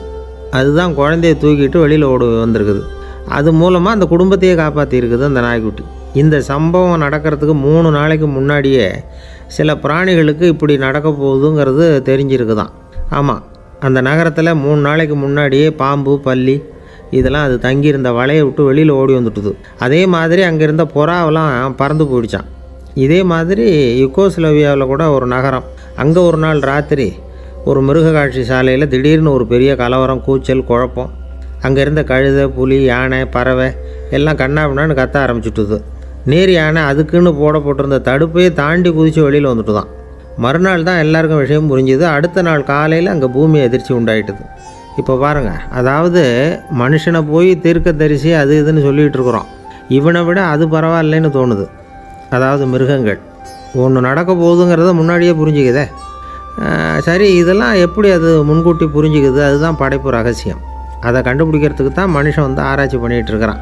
விஞ்ஞானிகளோட ஆராய்ச்சியெல்லாம் ஒரு பக்கம் இருக்கட்டும். வீட்டுக்குள்ளேயே சில ஆராய்ச்சி பண்ணி பாருங்களேன். இப்போ சில யோசனை சொல்லி அதை சோதனை பண்ணி பாருங்க அப்படின்னு ஒருத்தர் சொன்னாராம். அதாவது இப்போ மழை வருமா வராதா அப்படின்னு தெரிஞ்சுக்கணுமா? உடனே ஒரு பூனைக்குட்டி பின்னாடியே மெதுவாக போய் அது என்ன செய்யுதுன்னு கவனித்து பார்க்கணும். பூனைக்குட்டி தன்னோட பாதத்தினால சுகத்தில் வந்து அப்படி கீறிக்கிட்டு இருக்கும். அப்படி கீறினா கண்டிப்பாக மழை வரும். சில சமயம் பூனைக்குட்டி அப்படியே மல்லாந்து படுத்துக்கிட்டு பாதத்தை உயர தூக்கும். அப்படியும் இப்படியும் புரளும். இப்படி செஞ்சதுன்னா அன்னைக்கும் மழை இருக்காது. அதனால் முன்னாடி இருந்தது மழை வர்றதுக்கு அறிகுறி இது மழை இல்லைங்கிறதுக்கு அறிகுறி. பறவைகள் பிராணிகள் இதுகளோட நடவடிக்கைகளை பார்த்துட்டு அதையெல்லாம் அடிப்படையாக வச்சு தான் காலநிலையை கண்டுபிடிக்கிற கருவிகளை கண்டுபிடிச்சிருக்கிறாங்க. வாத்து இருக்குல்ல சில சமயம் தன்னோட அழகை தன்னோட இறகுகளில் அப்படியே புதைச்சிக்கும். அப்படி செஞ்சால் குளிர்காலம் வரப்போகுதுன்னு அர்த்தம். பருவநிலை குளிராக மாறப்போகுதுங்கிறதுக்கு இதுதான் அறிகுறி. சிட்டுக்குருவி இருக்குதுல்ல அதெல்லாம் புழுதியில் உழுந்து புரளும் சிறகுகளை வந்து படபடன்னு அடிச்சுக்கும். அப்படி செஞ்சால் மழை வரப்போகுதுன்னு அர்த்தம். ஒன்று மட்டும் நாம் நல்லா தெரிஞ்சுக்கணும். இயற்கையின் சீற்றம்னு சொல்கிறோம் இல்லையா? இயற்கை ஏன் நம்ம மேலே கோவப்படுது? இயற்கையை நாம் அனுசரித்து போகிறதில்ல அதனால் கோவப்படுது. காடுகளை அழிக்கக்கூடாது விலங்குகளை கொல்லக்கூடாது இயற்கை ஏற்படுத்தி வச்சிருக்கிற சமநிலையை கெடுக்கக்கூடாது அதை புரிஞ்சுக்கிட்டு வாழ்ந்தோம்னா பூமியும் நடுங்காது நாமளும் நடுங்க வேண்டிய அவசியம் இருக்காது. ஒருத்தர் இருந்தார் சாராய கடைக்கு போனாராம் நிறைய சாப்பிட்டார் அப்புறம் சொன்னார் இது ரொம்ப அற்புதமான சரக்கு போல் இருக்குது உள்ளே போன உடனே இந்த பூமியே நடுங்கிறது மாதிரி இருக்குது எனக்கு அப்படின்னாராம். இதுக்கு கடைக்காரர் சொல்லியிருக்கார் நீங்கள் சாப்பிட்டது வெறும் பச்சை தண்ணி தாங்க இப்போ ஏற்பட்டிருக்கிறது நிஜம் பூமி அதிர்ச்சி அப்படின்னாராம். ஒரு ஊரில் ஒரு ராஜா இருந்தார். அந்த ராஜாவுக்கு ஒரு மந்திரி. ராஜா ரொம்ப நியாயமானவர் நேர்மையானவர் கண்டிப்பானவர். தப்பு செய்கிறது யாராக இருந்தாலும் தண்டனை கொடுப்பார். வேண்டியவங்களுக்கு ஒரு நியாயம் வேண்டாதவங்களுக்கு ஒரு நியாயங்கிறதெல்லாம் அவர்கிட்ட கிடையாது. ஒரு சமயம் அரசவையில் அந்த அமைச்சரே வந்து விதிமுறைகளுக்கு புறம்பாக ஏதோ நடந்துக்கிட்டு இருக்கார் மன்னருக்கு கோவம் வந்துட்டுது. உடனே அந்த அமைச்சரை கிட்டத்தில் கூப்பிட்டு அவர் கன்னத்தில் ஓங்கி ஒரு அறை கொடுத்துட்டாராம். உடனே அந்த அமைச்சர் என்ன பண்ணார் தெரியுமா? நேராக போனார். அங்கே நின்றுக்கிட்டு இருந்த இன்னொருத்தர் கன்னத்தில் ஓங்கி அரைஞ்சார் அறை வாங்கினவர் திகைச்சு போயிட்டார். இவர் ஏன் நம்மளை வந்து அரைகிறார் அப்படின்னு யோசனை பண்ணார். மன்னரும் திகைச்சு போயிட்டார். நாம் இவர் அரைஞ்சா அதுக்காக இவர் போய் இன்னொருத்தர் அரையணுமா அப்படின்னு யோசனை பண்ணார் அவர். இவருக்கு என்ன பைத்தியமானு கூட நினைக்க ஆரம்பிச்சிட்டார். ஆனால் என்ன ஆச்சுன்னா அப்புறம் அமைச்சர் அவர் கவனிச்சிக்கிட்டு இருந்தாரா? அவர் இன்னொருத்தர் அரைஞ்சார் இல்லையா? அந்த அறை வாங்கின ஆசாமியை பார்த்து கத்திக்கிட்டு இருந்தார். யார் அமைச்சர்? ஏன்பா என்கிட்ட அறையை வாங்கிக்கிட்டு இப்படி விவரம் இல்லாமல் நின்றுட்டு நான் உனக்கு கொடுத்ததை நீ வேறு யாருக்கிட்டையாவது கொடுத்துரு அப்படின்னார். உடனே அந்த ஆள் பார்த்தான். தனக்கு அடுத்தபடியாக நின்றுக்கிட்டு இருந்தவனை ஓங்கி ஒரு அறை அரைஞ்சான். அவன் கன்னத்தை தடவிட்டே யோசனை பண்ணான். இது ஏதோ புரிஞ்சுக்கிட்ட மாதிரி அடுத்தாப்பில் நின்றுக்கிட்டு இருந்தவனை அரைஞ்சான். இப்படி இந்த அறை வந்து மாறி மாறி போய்கிட்டே இருக்குது. ஊர் பூரா பிரயாணம் பண்ண ஆரம்பிச்சுட்டுது. அன்றைக்கி ராத்திரி அந்த ராஜா படுக்கிறதுக்காக போனார். அந்த நேரம் பார்த்து அவர் கன்னத்தில் பலார்னு ஒரு அறை விழுந்தது. நம்மளே அறையிறது யார் அப்படின்னு அதிர்ச்சியோட மன்னர் திரும்பி பார்க்குறாரு. அரைஞ்சது அவரோட மனைவி. என்னாச்சு உனக்குன்னு? கத்துனார் ராஜா. உங்களுக்கு தெரியாதா? ஊர் பூரா ஒருத்தர் மாற்றி ஒருத்தர் மூலமாக இந்த அறை வந்து பிரயாணம் பண்ணிட்டு வருது. அப்படின்னாங்க அந்த அம்மா. அப்படின்னா ஆரம்பித்த இடத்துக்கே வந்துட்டுதா? அப்படின்னாராம் மன்னர். என்ன சொல்கிறீங்கன்னு கேட்டிருக்காங்க. இவர் விவரத்தை சொன்னாராம். அப்படின்னா நீங்கள் ஆரம்பித்து வச்ச இந்த விளையாட்டை நான் முடிச்சு வச்சுட்டேன் அப்படின்னாங்களாம் அந்த அம்மா.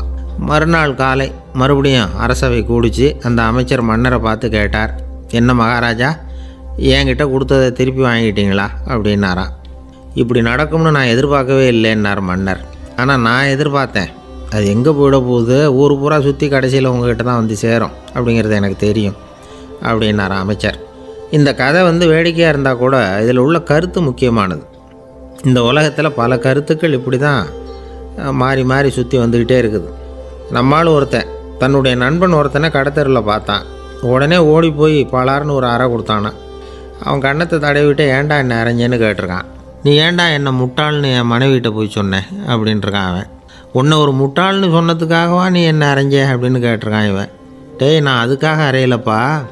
அது ஒரு பெரிய ரகசியம். நான் முட்டாளுங்கிறது. அந்த ரகசியத்தை நீ வந்து ஏன் எங்கள் வீட்டில் போய் சொன்னேன் அதுக்காக தான் அரைஞ்சேன் அப்படின்னு நான் அவன் பக்தின்னு சொல்கிறோம் இல்லையா? அது வந்து மூன்று வகைப்படும் அப்படிங்கிறார் ஒரு பெரியவர். அது என்ன மூணு வகைன்னா தெய்வ பக்தி அடியார்கள் பக்தி குரு பக்தி. அடியார் பக்தியை விட தெய்வ பக்தியை விட குரு பக்தி தான் ரொம்பவும் சிறந்ததுங்கிறார் அவர். தெய்வத்துக்கிட்ட செஞ்ச பாவம் குருநாதர்கிட்ட தீர்ந்துருமா? குருநாதர்கிட்ட செஞ்ச பாவம் தெய்வத்துக்கிட்ட போனாலும் தீராதான். இப்படி பெரியவங்கள்லாம் சொல்லி வச்சுருக்கிறாங்க. ஒரு காடு அங்கே அயோத தௌமியர் அப்படின்னு ஒரு தபோதனர். அவர் பல மாணவர்களை ஒன்றா சேர்த்து ஒரு குருகுலம் நடத்திக்கிட்டு இருக்கிறார். பல தரப்பட்டவங்க பல திறப்பட்டவங்க மாணவர்கள் அதில் சேர்ந்து படிச்சுக்கிட்டு இருக்கிறாங்க. பாஞ்சால ராஜகுமாரன் ஒருத்தனும் அந்த குருகுலத்தில் சேர்ந்து படிச்சுக்கிட்டு இருக்கிறான். அவன் பேர் ஆருணி. பெரிய இடத்து புள்ள. இருந்தாலும் படுப்பில் ரொம்ப கெட்டிக்காரனாக இருந்தான். அவன் தான் அங்கே முதல் மாணவன். ஒரு நாள் குருநாதர் அந்த அரசகுமாரனை கூப்பிட்டார். நம்ம குருகுலத்துக்கு சொந்தமான வயலில் தண்ணீர் பெருகி வெள்ளம் வந்து பயிரை வந்து அழிக்குதான். அதனால் நீ போய் மடையை அடைச்சிட்டு வந்துரு அப்படின்னார். அந்த அரசகுமாரன் உடனே புறப்பட்டான். குருநாதர் சொல்லிட்டார்ல உடனே புறப்பட்டான். நான் பெரிய இடத்து பிள்ளையாச்சே ராஜகுமாரனாச்சே ரொம்ப செல்வாக்கூட வளர்ந்தவனாச்சே நான் போய் வயலில் இறங்கி வேலை செய்கிறதா? அப்படின்னுலாம் அவன் நினைக்கல. குருநாதர் கட்டளையை நிறைவேற்ற வேண்டியது நம்ம கடமை அப்படின்னு நினச்சான். உடனே ஒரு மண்வெட்டியை தூக்கி தோளில் வச்சுக்கிட்டு புறப்பட்டு போயிட்டான். வயலுக்கு போனான் பார்த்தான். தண்ணி கரையை உடச்சிக்கிட்டு வயலுக்குள்ளே ஏகமாக பாஞ்சிக்கிட்டு இருக்குது. இவன் மண்வெட்டியால் களிமண்ணை புல்லோடு சேர்த்து புல் பத்த மாதிரி வெட்டி வெட்டி போட்டான். இருந்தாலும் மடையை அடைக்க முடியல. தண்ணி அதை மீறி வந்துக்கிட்டே இருக்குது. தண்ணி வந்து வேகமாக வயலுக்குள்ளே போய்கிட்டே இருக்குது. போடுற பத்தையெல்லாம் கரைஞ்சி கரைஞ்சி போயிட்டுருக்கு. இருந்தாலும் இவன் தன்னுடைய முயற்சியை கைவிடலை. வெட்டி வெட்டி போட்டுக்கிட்டே இருக்கிறான். காலையில் அங்கே போனவன் சாயந்தரம் வரைக்கும் இப்படி செஞ்சுக்கிட்டு இருக்கிறான். உடம்பும் மனசும் ரொம்பவும் சோர்ந்து போச்சு. இருந்தாலும் குருநாதர் இட்ட கட்டளையை நிறைவேற்றாமல் இருக்கிறோமேங்கிற ஒரு குறை அவனுக்கு இருக்குது குரு கட்டளையை நிறைவேற்றாத நான் வந்து இன்னமும் இருக்கணுமா அப்படின்னு யோசனை பண்ண ஆரம்பிச்சிட்டான். என்ன செய்யலாம்னு பார்த்தான். நம்ம குருநாதர் இட்ட பணிக்காக இந்த உடம்பையே தியாகம் பண்ணலாம் அப்படின்னு முடிவு பண்ணான். தண்ணி பாயுதில் அதுக்கு குறுக்க விழுந்து அப்படியே மடையை அடைச்சிக்கிட்டு அப்படியே படுத்துட்டான். இது மற்றவங்களுக்கு தெரியாது. அன்னைக்கு ராத்திரி ஒரு விளக்கு முன்னாடி உட்காந்து குருநாதர் பிள்ளைங்களுக்கு பாடம் சொல்லி கொடுத்துக்கிட்டு இருக்கிறார். முத வரிசையில் இருக்கக்கூடிய ராஜகுமாரனை காணலை. நம்ம ஆருணி எங்கே போனா அப்படின்னு சொல்லி மற்ற மாணவர்களை விசாரித்தார் இப்போ அவங்க சொன்னாங்க சுவாமி அவன் காலையில் வயலுக்கு வந்து மடையை அடைக்கிறதுக்காக போனான். நீங்கள் தான் போக சொன்னீங்க. இன்னும் திரும்பி வரல அப்படின்னு அவர் பையன். குருநாதர் உடனே ஒரு தீவெட்டி எடுத்துக்கிட்டு மாணவர்களை அழைச்சிக்கிட்டு வயலுக்கு போனார். அங்கே போய் பார்த்தா ஆளை காணும். ஆருணி ஆருணின்னு சொல்லி சத்தம் போட்டு கூப்பிட்டு பார்க்குறார் நான் இங்கே இருக்கேன் குருநாதா அப்படின்னு காலுக்கு அடியிலேருந்து ஒரு சத்தம் வருது. குனிஞ்சு பார்த்தா அவன் மழையில் படுத்துருக்குறான். என்னப்பா இதுன்னார். காலையிலேருந்து இந்த மடையை அடைச்சி பார்த்தேன் சுவாமி முடியல. அதனால் இப்படி குறுக்க படுத்துட்டேன். என்னை தாண்டறதுக்கு பயந்து போய் தண்ணியே தேங்கி நின்றுட்டுது அப்படின்னா. அவனுடைய குரு பக்தியையும் அவனை தாண்டறதுக்கு அஞ்சு நிற்கிற தண்ணி தேக்கத்தையும் பார்த்துட்டு எல்லாரும் ரொம்ப ஆச்சரியப்பட்டு போயிட்டாங்களாம். ஆறுனே எழுந்திரிச்சு வா அப்படின்னு கூப்பிட்டாரான் குருநாதர். அவன் தண்ணீரை பொழந்துக்கிட்டு எழுந்திரிச்சு வந்தானான் அதனால் அவனுக்கு வந்து உத்தாலகன் அப்படின்னு ஒரு பேர். உத்தாலகன்னா தண்ணீரை பிளந்தவன் அர்த்தம். அந்த உத்தாலகன் மாதிரி இந்த காலத்து மாணவர்களுக்கும் குரு பக்தி வேணும் அப்படின்னு சொன்னோம். ஒரு பள்ளிக்கூடத்தில். உடனே நிறைய மாணவர்கள் எழுந்திரிச்சு நின்னாங்க. சார் நீங்கள் எங்களை வந்து இன்னமும் சரியாக புரிஞ்சுக்கலன்னு நினைக்கிறோம். அன்னைக்காவது ஒருத்தன் அப்படி இருந்தான். இன்றைக்கி ஏகப்பட்ட உத்தாலகர்கள் இருக்கிறோம். எங்கள் வாத்தியார் கட்டளை இட்டால் இப்போவே அது மாதிரி வயலுக்கு போய் மடையில் குறுக்கப்படுத்துக்கிறதுக்கு இந்த வகுப்பில் உள்ள அத்தனை பேரும் தயாராக இருக்கிறோம் அப்படின்னாங்க. அப்படியா? அப்படின்னு சொல்லி கேட்டோம் ரொம்ப சந்தோஷமாக ஒருத்தன் ரொம்ப அடக்கமாக எழுந்திரிச்சான். அப்புறம் சொன்னான் ஆமாம் சார் வகுப்பில் வந்து இவர் நடத்துகிற பாடத்தை கேட்டுக்கிட்டு இருக்கிறத விட பேசாமல் போய் மடையில் படுத்துடுறது ஒன்றும் கஷ்டமான காரியமாக இருக்காது. அதனால தான் எல்லாரும் அங்கே போகிறேன்னு சொல்கிறோம் அப்படிங்கிறான். ஒரு இலக்கிய கூட்டம் ஏற்பாடு பண்ணியிருக்கிறோம். நீங்கள் அவசியம் வந்து அதில் பேசணும் அப்படின்னு கேட்டுக்கிட்டார் ஒருத்தர். வேணாங்க நாலு பேருக்கு முன்னாடி வந்து நிற்கிறதுனா எனக்கு ரொம்ப கூச்சமாக இருக்கும் அப்படின்னாரு இவர். ஏன் சார் இன்னமும் குழந்த மாதிரி கூச்சப்படுறீங்களே அப்படின்னார் அவர். அவர் ஒரு மாதிரியாக சமாளித்து அனுப்பி வச்சுட்டு அதுக்கப்புறம் அதை பற்றி இவர் யோசித்து பார்த்துருக்கார். சில நிபுணர்கள் எழுதியிருக்கிறத படித்தும் பார்த்துருக்கிறார். மனோதத்துவ நிபுணர்கள் என்ன சொல்கிறாங்க தெரியுமா? பத்துலேருந்து இருபது சதவீதம் குழந்தைகள் பிறக்கிறப்பவே கூச்ச சுபாவம் கொண்டதாக தான் இருக்குதான். ஒரு தாத்தா தன்னோட பேர பிள்ளைய ஆசையாக கூப்பிடுறார். விளையாட்டு காட்ட. அதை அழுதுகிட்டு ஓடி போகுது. ஒரு அம்மா தன்னோட பிள்ளைய பள்ளிக்கூடத்தில் சேர்க்கறதுக்காக கூப்பிட்டுக்கிட்டு போகிறாங்க அந்த புள்ள அம்மாவோட முந்தானையில் ஒளிஞ்சிக்கிட்டு வெளில வரமாட்டேங்குது. இவங்களையெல்லாம் எப்படி சமாளிக்கிறது? குழந்தைகளோட கூச்ச சுபாவத்தை போக்குறது எப்படி? இதுக்கு நிபுணர்கள் சில யோசனைகளை சொல்லியிருக்கிறாங்க.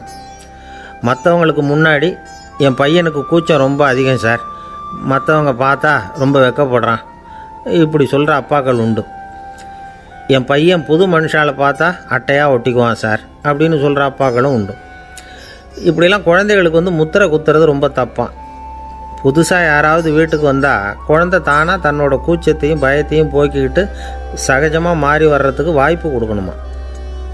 ஒரு கூட்டத்துக்கோ அல்லது சொந்தக்காரங்க கல்யாணத்துக்கோ குழந்தைய அழைச்சிட்டு போகிறீங்க அங்கே போய் கட்டாயப்படுத்தி குழந்தைய மற்றவங்க கிட்ட பேச சொல்லக்கூடாது சில சமயம் குழந்தை தானாக தன்னுடைய கூச்ச சுபாவத்தை விட்டு பேசுகிறதுக்கு முன் வந்தால் அதை பாராட்டணும். குழந்தை கலகலப்பு இல்லாமல் மௌனமாக இருந்ததுன்னா அதையும் கண்டுக்கக்கூடாது. குழந்தை பேச ஆரம்பித்தா அதை ஆர்வத்தோடு கவனிக்க தெரியணும். கலந்து உரையாடுற பழக்கத்தை வீட்லேயே ஆரம்பிக்கலாம். கேட்டதுக்கு பதில் சொல் அப்படின்னு நீங்கள் அதிகாரம் பண்ணிகிட்டு இருக்கக்கூடாது அது வந்து குழந்தைக்கு பேசுகிற சந்தர்ப்பத்தை குறைச்சிருமா. இப்போ நாம் அதிகாரம் பண்ணால் கேலி செய்கிற பழக்கம் குழந்தைகளை வந்து ரொம்ப பாதிச்சிருமா. பெரியவங்களானதுக்கு அப்புறமும் சில பேர் கூச்சத்தோடவும் பயத்தோடவும் இருக்கிறதுக்கு இதுதான் காரணம். சின்ன வயசில் அவங்கெல்லாம் ஏதாவது கேலிக்கு ஆளாகி இருப்பாங்க. ரெண்டாவது குழந்தை மூத்த குழந்தைய வந்து கேலிக்கு ஆளாகிற சந்தர்ப்பங்களை கண்டு கேலி பண்ணினா அது இளம் நெஞ்சங்களை விட்டு நீங்கிறதே இல்லையா? எப்பவும் குழந்தையோட நடை உடை பாவனைகளை பற்றி சொல்லிக்கிட்டே இருக்கக்கூடாதான். அதுவே கூச்ச சுபாவத்தை கொண்டுட்டு வந்துடுமா அப்பா எங்கேன்னு யாராவது கேட்டால் இது மாதிரி இன்ன காரியத்துக்காக வெளியில் போயிருக்கார் இத்தனை மணிக்கு திரும்பி வருவார் அப்படின்னு சொல்கிற அளவுக்கு குழந்தைகளை வந்து பழக்கப்படுத்தி வைக்கணும். ஃபோன்லேயே யாராவது விசாரித்தா கூட இது மாதிரி பதில் சொல்லு அப்படின்னு சொல்லணும். சின்ன சின்ன மீட்டிங்கில் நாலு வார்த்தை பேச தயார் பண்ணலாம். ஒரு கடையிலையோ அல்லது ஹோட்டல்லையோ ஏதாவது விவரம் கேட்கணும்னா உங்கள் குழந்தைய தைரியமாக அனுப்புங்க. குழந்தைகள் பணிவாகவும் பொறுமையாகவும் விவரம் கேட்குறப்போ கூச்ச சுபாவம் தானாக போயிடும். சின்ன வயசுலேயே இப்படிலாம் பழக்கப்படுத்தினா தான் வருங்காலத்தில் தைரியமாக இந்த சமுதாயத்தில் வாழ முடியும். இல்லைன்னா அறுபது வயசுலேயும் அடுப்பங்கரையை விட்டு வெளில வர்றதுக்கு கூச்சப்பட்டுக்கிட்டு தான் இருக்க வேண்டியிருக்கும். இந்த காலத்து பிள்ளைங்க எவ்வளவோ பரவாயில்ல. எதுக்கும் தயங்குறதில்ல கூச்சப்படுறதில்ல. ஒரு அம்மா அடுப்பங்கரையிலேருந்து சத்தம் போட்டாங்க. டேய் ராமு தயவு பண்ணி அந்த டிவியை நிறுத்துறா. அந்த பெண்ணோட குரல் மகா மோசம். அடுப்பங்கரையில் இருக்கிற என்னாலேயே அதை சகிச்சிக்க முடியல அப்படின்னாங்களாம். உடனே பையன் கொஞ்சம் கூட தயங்காமல் பதில் சொல்கிறான் அம்மா இந்த குரல் டிவியிலேருந்து வரல. எழுத்த விட்டு மாமி தான் இங்கே வந்திருக்கிறாங்க. அவங்க தான் இப்போ என்னோட பேசிக்கிட்டு இருக்கிறாங்க அப்படின்னு நானும் ஐயா உங்கள் பேரை தொடர்ந்து தினம் கேட்டுக்கிட்டு இருக்கிறேன் அப்படின்னார் ஒருத்தர். தொடர்ந்து கேட்குறீங்களே உங்களுக்கு காது வலிக்கலையா? அப்படின்னு கேட்டோம். பேசுகிற உங்களுக்கே வாய் வலிக்கலை. அப்படிங்கிறப்போ கேட்குற எங்களுக்கு எப்படி காது வலிக்கும்? அப்படின்னார். நம்ம உடம்பில் ஒரு அதிசயம் என்ன தெரியுமா? ரொம்ப நேரம் நாம் நடக்கிறோம்னு வச்சுக்கோங்க கால் வலிக்கும். ரொம்ப நேரம் வேலை செஞ்சால் கை வலிக்கும் உடம்பு வலிக்கும். ரொம்ப நேரம் பார்த்துக்கிட்டே இருந்தால் கண் வலிக்கும். ரொம்ப நேரம் பேசிக்கிட்டே இருந்தால் வாய் கூட வலிக்கும். ஆனால் ரொம்ப நேரம் கேட்டுக்கிட்டே இருக்கிறதுனால காது வலிக்கிறது இல்லை அதனால் கேட்கறதுக்கு முக்கியத்துவம் கொடுத்தாங்க நம்ம பெரியவங்க. திருவள்ளுவர் வந்து தேவையில்லாமல் வார்த்தைகளை உபயோகப்படுத்த மாட்டார். ஒரு திருக்குறள்னு எடுத்துக்கிட்டாவே அதில் மொத்தம் ஏழு வார்த்தைகள் அவ்வளோதான் அப்படி ஏழு வார்த்தைகள் மட்டுமே உள்ள ஒரு திருக்குறளில் வள்ளுவர் ஒரே வார்த்தையை அஞ்சு தடவை உபயோகப்படுத்தியிருக்கிறார். திரும்ப திரும்ப பயன்படுத்தியிருக்கிறார். அப்படின்னா அதை எந்த அளவுக்கு வலியுறுத்தி சொல்கிறார் அப்படிங்கிறத நாம் புரிஞ்சுக்கணும். அது என்ன குறள்? செல்வத்துள் செல்வம் செவிச்செல்வம் அச்செல்வம் செல்வத்துள் எல்லாம் தலை. செவிச்செல்வம்ங்கிறது அவ்வளவு முக்கியமானது. கற்றலின் கேட்டல் நன்று. அதிகம் கேட்கணுங்கிறதுக்காக தான் எவ்வளவு கேட்டாலும் காது வலிக்கிறதில்ல. குறைச்சலாக பேசணும் அதிகமாக கேட்கணும். இன்னொரு விஷயம் கவனிங்க. நம்ம உடம்பில் கண்ணுக்கு வந்து மூடி இருக்குது. எதையாவது நாம் பார்க்க விரும்பலைன்னா உடனே கண்ணை மூடிக்கலாம். நம்ம வாய்க்கு மூடி இருக்குது பேச விருப்பம் இல்லையா வாய் மூடிக்கலாம். மூக்குக்கு கூட மூடிக்கிற வசதி இருக்குது. எதையாவது முகர விருப்பம் இல்லையா மூச்சை அடக்கிக்கலாம். ஆனால் பாருங்கள் காதுக்கு வந்து மூடி கிடையாது. அதை கையால் தான் மூட முடியும். யார் என்ன சொன்னாலும் அது நல்லதோ கெட்டதோ காதில் விழுந்துக்கிட்டு தான் இருக்கும். அறிவு தான் நல்ல விஷயங்களை எடுத்துக்கிட்டு கெட்ட விஷயங்களை விட்டுடணும் நல்ல கருத்துக்கள் நம்ம காதில் நிறைய விழுந்துக்கிட்டே இருக்கணும். அதை கேட்டு நாம் நல்லபடியாக வாழணுங்கிறது தான் படைப்பின் விருப்பம். ஆன்மீகவாதிகள் கூட ஒன்று சொல்லுவாங்க. அதாவது ஆன்மீக பாதையில் நீங்கள் முன்னேறணும்னா முதல்ல சிரவணம் செய்யணும்பாங்க. அதாவது பெரியவங்க சொல்கிற நல்ல கருத்துக்களை கேட்கணும் அப்படின்னு அதுக்கு அர்த்தம். அதனால் யார் நல்ல கருத்துக்களை சொன்னாலும் அதை காது கொடுத்து கேளுங்க. இவ்வளவு கருத்துக்களையும் நம்ம நேயர் ஒருத்தர்கிட்ட சொல்லிகிட்டு இருந்தோம். அவரும் சரி சரின்னு தலையாடிக்கிட்டே இருந்தார். அப்புறம் சொன்னார் நீங்கள் சொல்கிறது சரிதான் சார். காதுக்கு மூடி இல்லைங்கிறது ரொம்ப சரி. அதனால தான் உங்கள் தகவல் கூட நாங்கள் விரும்புகிறோமோ இல்லையோ தினம் காதில் விழுந்துக்கிட்டு இருக்குது அப்படின்னார். எங்களுக்கு ரொம்ப பெருமையாக இருந்தது. அப்படியா? அப்படின்னோம். ஆனாலும் என்ன மாதிரி சில பேர் நீங்கள் தகவல் சொல்கிற சமயத்தில் காதில் மூடி இல்லையேன்னு சொல்லி கவலைப்படுறதில்ல சார் அப்படின்னார். ஏன்னு கேட்டோம். காதை மூடுறதுக்கு தானே வசதி இல்லை. ரேடியோ மூடுறதுக்கு வசதி இருக்குதுல்ல. அதனால் டக்குன்னு அதை மூடி வச்சுருவோம் அப்படின்னார். ஒரு காலத்தில் பிரஷ்யா அப்படின்னு ஒரு தேசம் இருந்தது. இப்போ ஜெர்மனி இருக்குல்ல.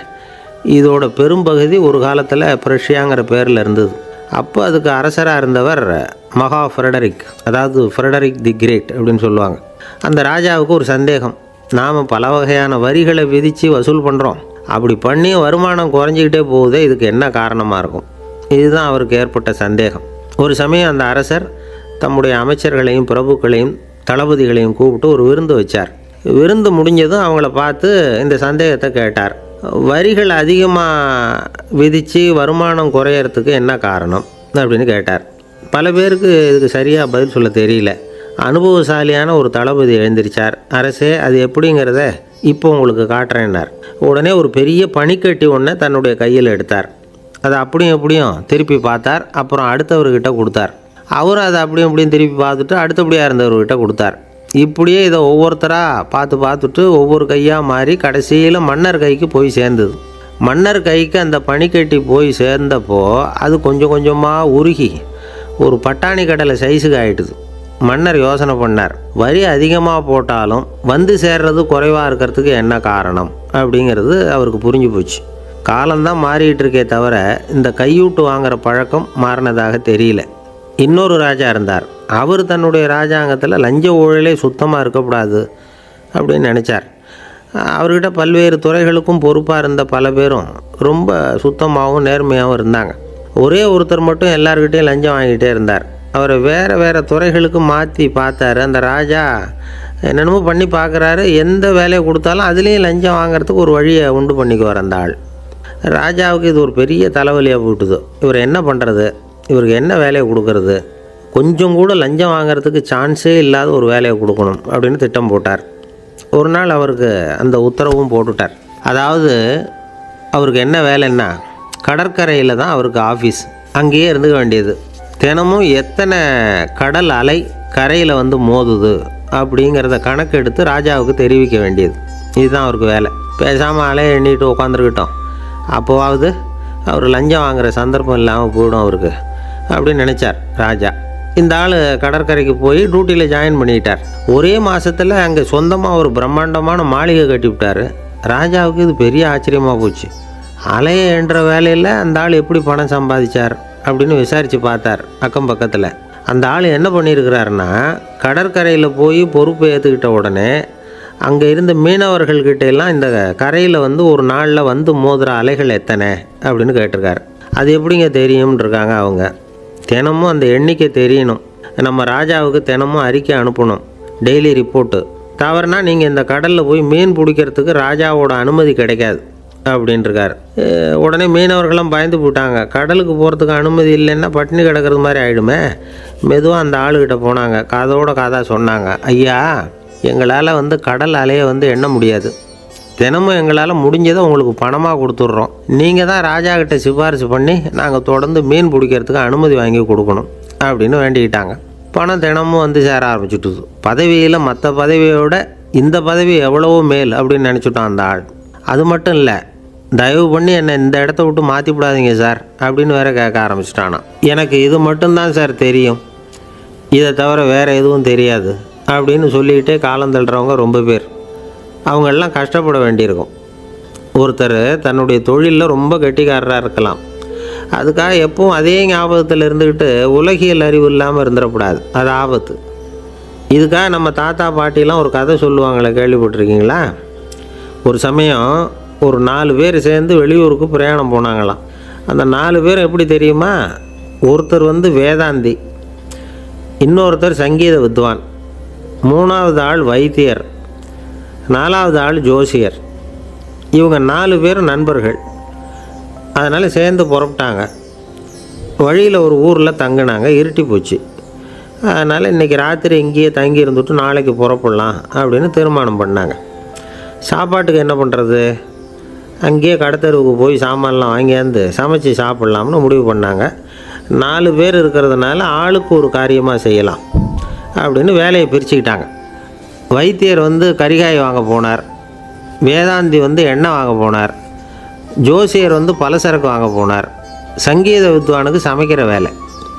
எல்லாம் சரி ஆனால் நடந்தது என்ன தெரியுமா? கடைத்தருவுக்கு காய்கறி வாங்க போனார்ல வைத்தியர். அங்கே போய் மார்க்கெட்டில் பார்த்தார். ஒவ்வொரு கறிகாயாக எடுத்து பார்த்தார். இது பித்தம் உடம்புக்கு ஒத்துக்காது. இது வாயு உடம்பு ஒத்துக்காது அப்படின்னு ஒவ்வொன்றா தள்ளினார். கடைசியில் ஒன்றுமே தேரல வெறுங்கையோடு திரும்பி வந்துக்கிட்டு இருக்கிறார். எண்ணெய் வாங்க போனார் வேதாந்தி. அவர் ஒரு தொன்னையில் எண்ணெயை வாங்கினார். பேசாமல் அதை எடுத்துகிட்டு வர வேண்டியது தானே? முடியல. அவருடைய வேதாந்த மூளை சிந்திக்க ஆரம்பிச்சுட்டுது. இந்த தொன்னைக்கு எண்ணெய் ஆதாரமா? அல்லது எண்ணெய்க்கு தொன்னை ஆதாரமா? அப்படிங்கிற ஆராய்ச்சியில் இறங்கினார். என்னாச்சு தெரியுமா? அப்படி கவுத்து பார்த்தார். வாங்கின எண்ணெய் பூராவையும் வழியில் கொட்டிவிட்டு வெறும் தொன்னையோடு வந்து சேர்ந்தார். பலசரக்கு வாங்க போனார் ஜோசியர். அவர் ஒரு வழியில் பார்த்தாரு. வழியில் வந்தவங்களெல்லாம் அங்கங்கே ஒரு மரத்தடியில் உட்கார வச்சு அவங்களுக்கெல்லாம் ஆர்வடம் சொல்ல ஆரம்பிச்சிட்டார். அப்படி ஒவ்வொருத்தராக சொல்லி முடிச்சுட்டு கடத்தருக்கு போய் சேர்ந்தார். இவர் அங்கே போய் சேர்றதுக்குள்ளே ரொம்ப நேரம் ஆயிட்டுது. கடையெல்லாம் பூட்டிவிட்டு போயிட்டாங்க. என்ன செய்கிறது அவரும் வெறுங்கையோட திரும்பி வந்து சேர்ந்தார். சரி இவங்க கதை தான் இப்படி ஆச்சு. அங்கே சமைக்கிறதுக்காக உட்காந்துருந்தார் சங்கீத வித்வான். அவர் கதை என்னாச்சு தெரியுமா? அங்கே அவர் அடுப்பை பற்ற வச்சு ஒலையை கொதிக்க வச்சார். அதாவது ஒரு பானையில் தண்ணியை ஊற்றி அடுப்பில் வச்சார். அது கொதிக்க ஆரம்பிச்சுது. தண்ணி கொதிக்கிற சத்தம் இருக்குதுல்ல அது இவருக்கு தாளம் போடுறது மாதிரி இருந்தது. ஒரே குஷி பாட ஆரம்பிச்சிட்டார். பாடிக்கிட்டே உற்சாகமாக கையில் இருந்த கரண்டியால் அந்த பானையில் தட்டினார். தாளம் போடுறதா நினச்சிக்கிட்டு. அவ்வளவுதான். பானை பட்டுன்னு உடஞ்சி போச்சு. தலையில் கையை வச்சுக்கிட்டு அவரும் உட்காந்துட்டார் எந்த தொழில் தெரிஞ்சாலும் சரி அதை புத்திசாலித்தனமாக பயன்படுத்த தெரியலன்னா ஆபத்து தான் அதுக்காக தான் இந்த கதை. ஒரு பஸ்ஸு டிரைவர் ரொம்ப கெட்டிக்காரர். பஸ்ஸை ரொம்ப திறமையாக ஆபத்து இல்லாமல் ஓட்டினதுக்காக பரிசுலாம் வாங்கினவர். அவரே ஒரு படகு ஓட்டுறதுக்காக அழைச்சிட்டு போயிருக்கிறாங்க. மோட்டார் படகு. அதையும் ரொம்ப திறமையாக தான் ஓட்டிகிட்டு போயிருக்கிறாரு. நடுக்கடலில் போனதும் படகு நின்று போச்சு. மோட்டாரில் ஏதோ கோளாறு. என்ன செய்யலாம் அப்படின்னு அந்த டிரைவரை கேட்டிருக்கிறாங்க. படகுல இருந்தவங்கெல்லாம் அப்போ அவர் சொன்னாராம் கவலைப்படாதீங்க ஒன்றும் பிரச்சனை இல்லை. எல்லாரும் கொஞ்சம் கீழே இறங்கி பின்னாடி தள்ளுங்க. மோட்டார் ஸ்டார்ட் ஆகிடும் அப்படின்னாராம். ஒரு ஊரில் ஒரு இளைஞன் இருந்தான். ஒரு நாள் அவன் ஒரு குருவை தேடிக்கிட்டு புறப்பட்டான். ஊரை விட்டு வெளியில் போனான். போகிற வழியில் ஒரு காடு. அந்த காட்டில் ஒரு மரத்தடியில் ஒரு பெரியவர் உட்காந்துருக்கிறார் அமைதியாக மௌனமாக அவர் அமர்ந்திருக்கிறார். இந்த பெரியவரை விசாரிக்கலாம். குருவை தேடி கண்டுபிடிக்கிறதுக்கு இவர் ஏதாவது ஒரு வழி சொல்லி கொடுப்பார் அப்படின்னு நினச்சிக்கிட்டு அவர் நெருங்கினான். ஐயா எனக்கு ஒரு குரு தேவை. எங்கே கிடைப்பார்? அவரை எப்படி அடையாளம் கண்டுபிடிக்கிறது? அதை பற்றி ஏதாவது விவரம் சொன்னீங்கன்னா நான் கண்டுபிடிச்சிக்குவேன். அப்படின்ட்டுருக்கான் பெரியவர் நிமிந்து பார்த்தார். தம்பி அது ரொம்ப சுலபம். அவர் வயசானவராக இருப்பார். என்னை விட சுமார் முப்பது வயசு அதிகமாக இருக்கும்.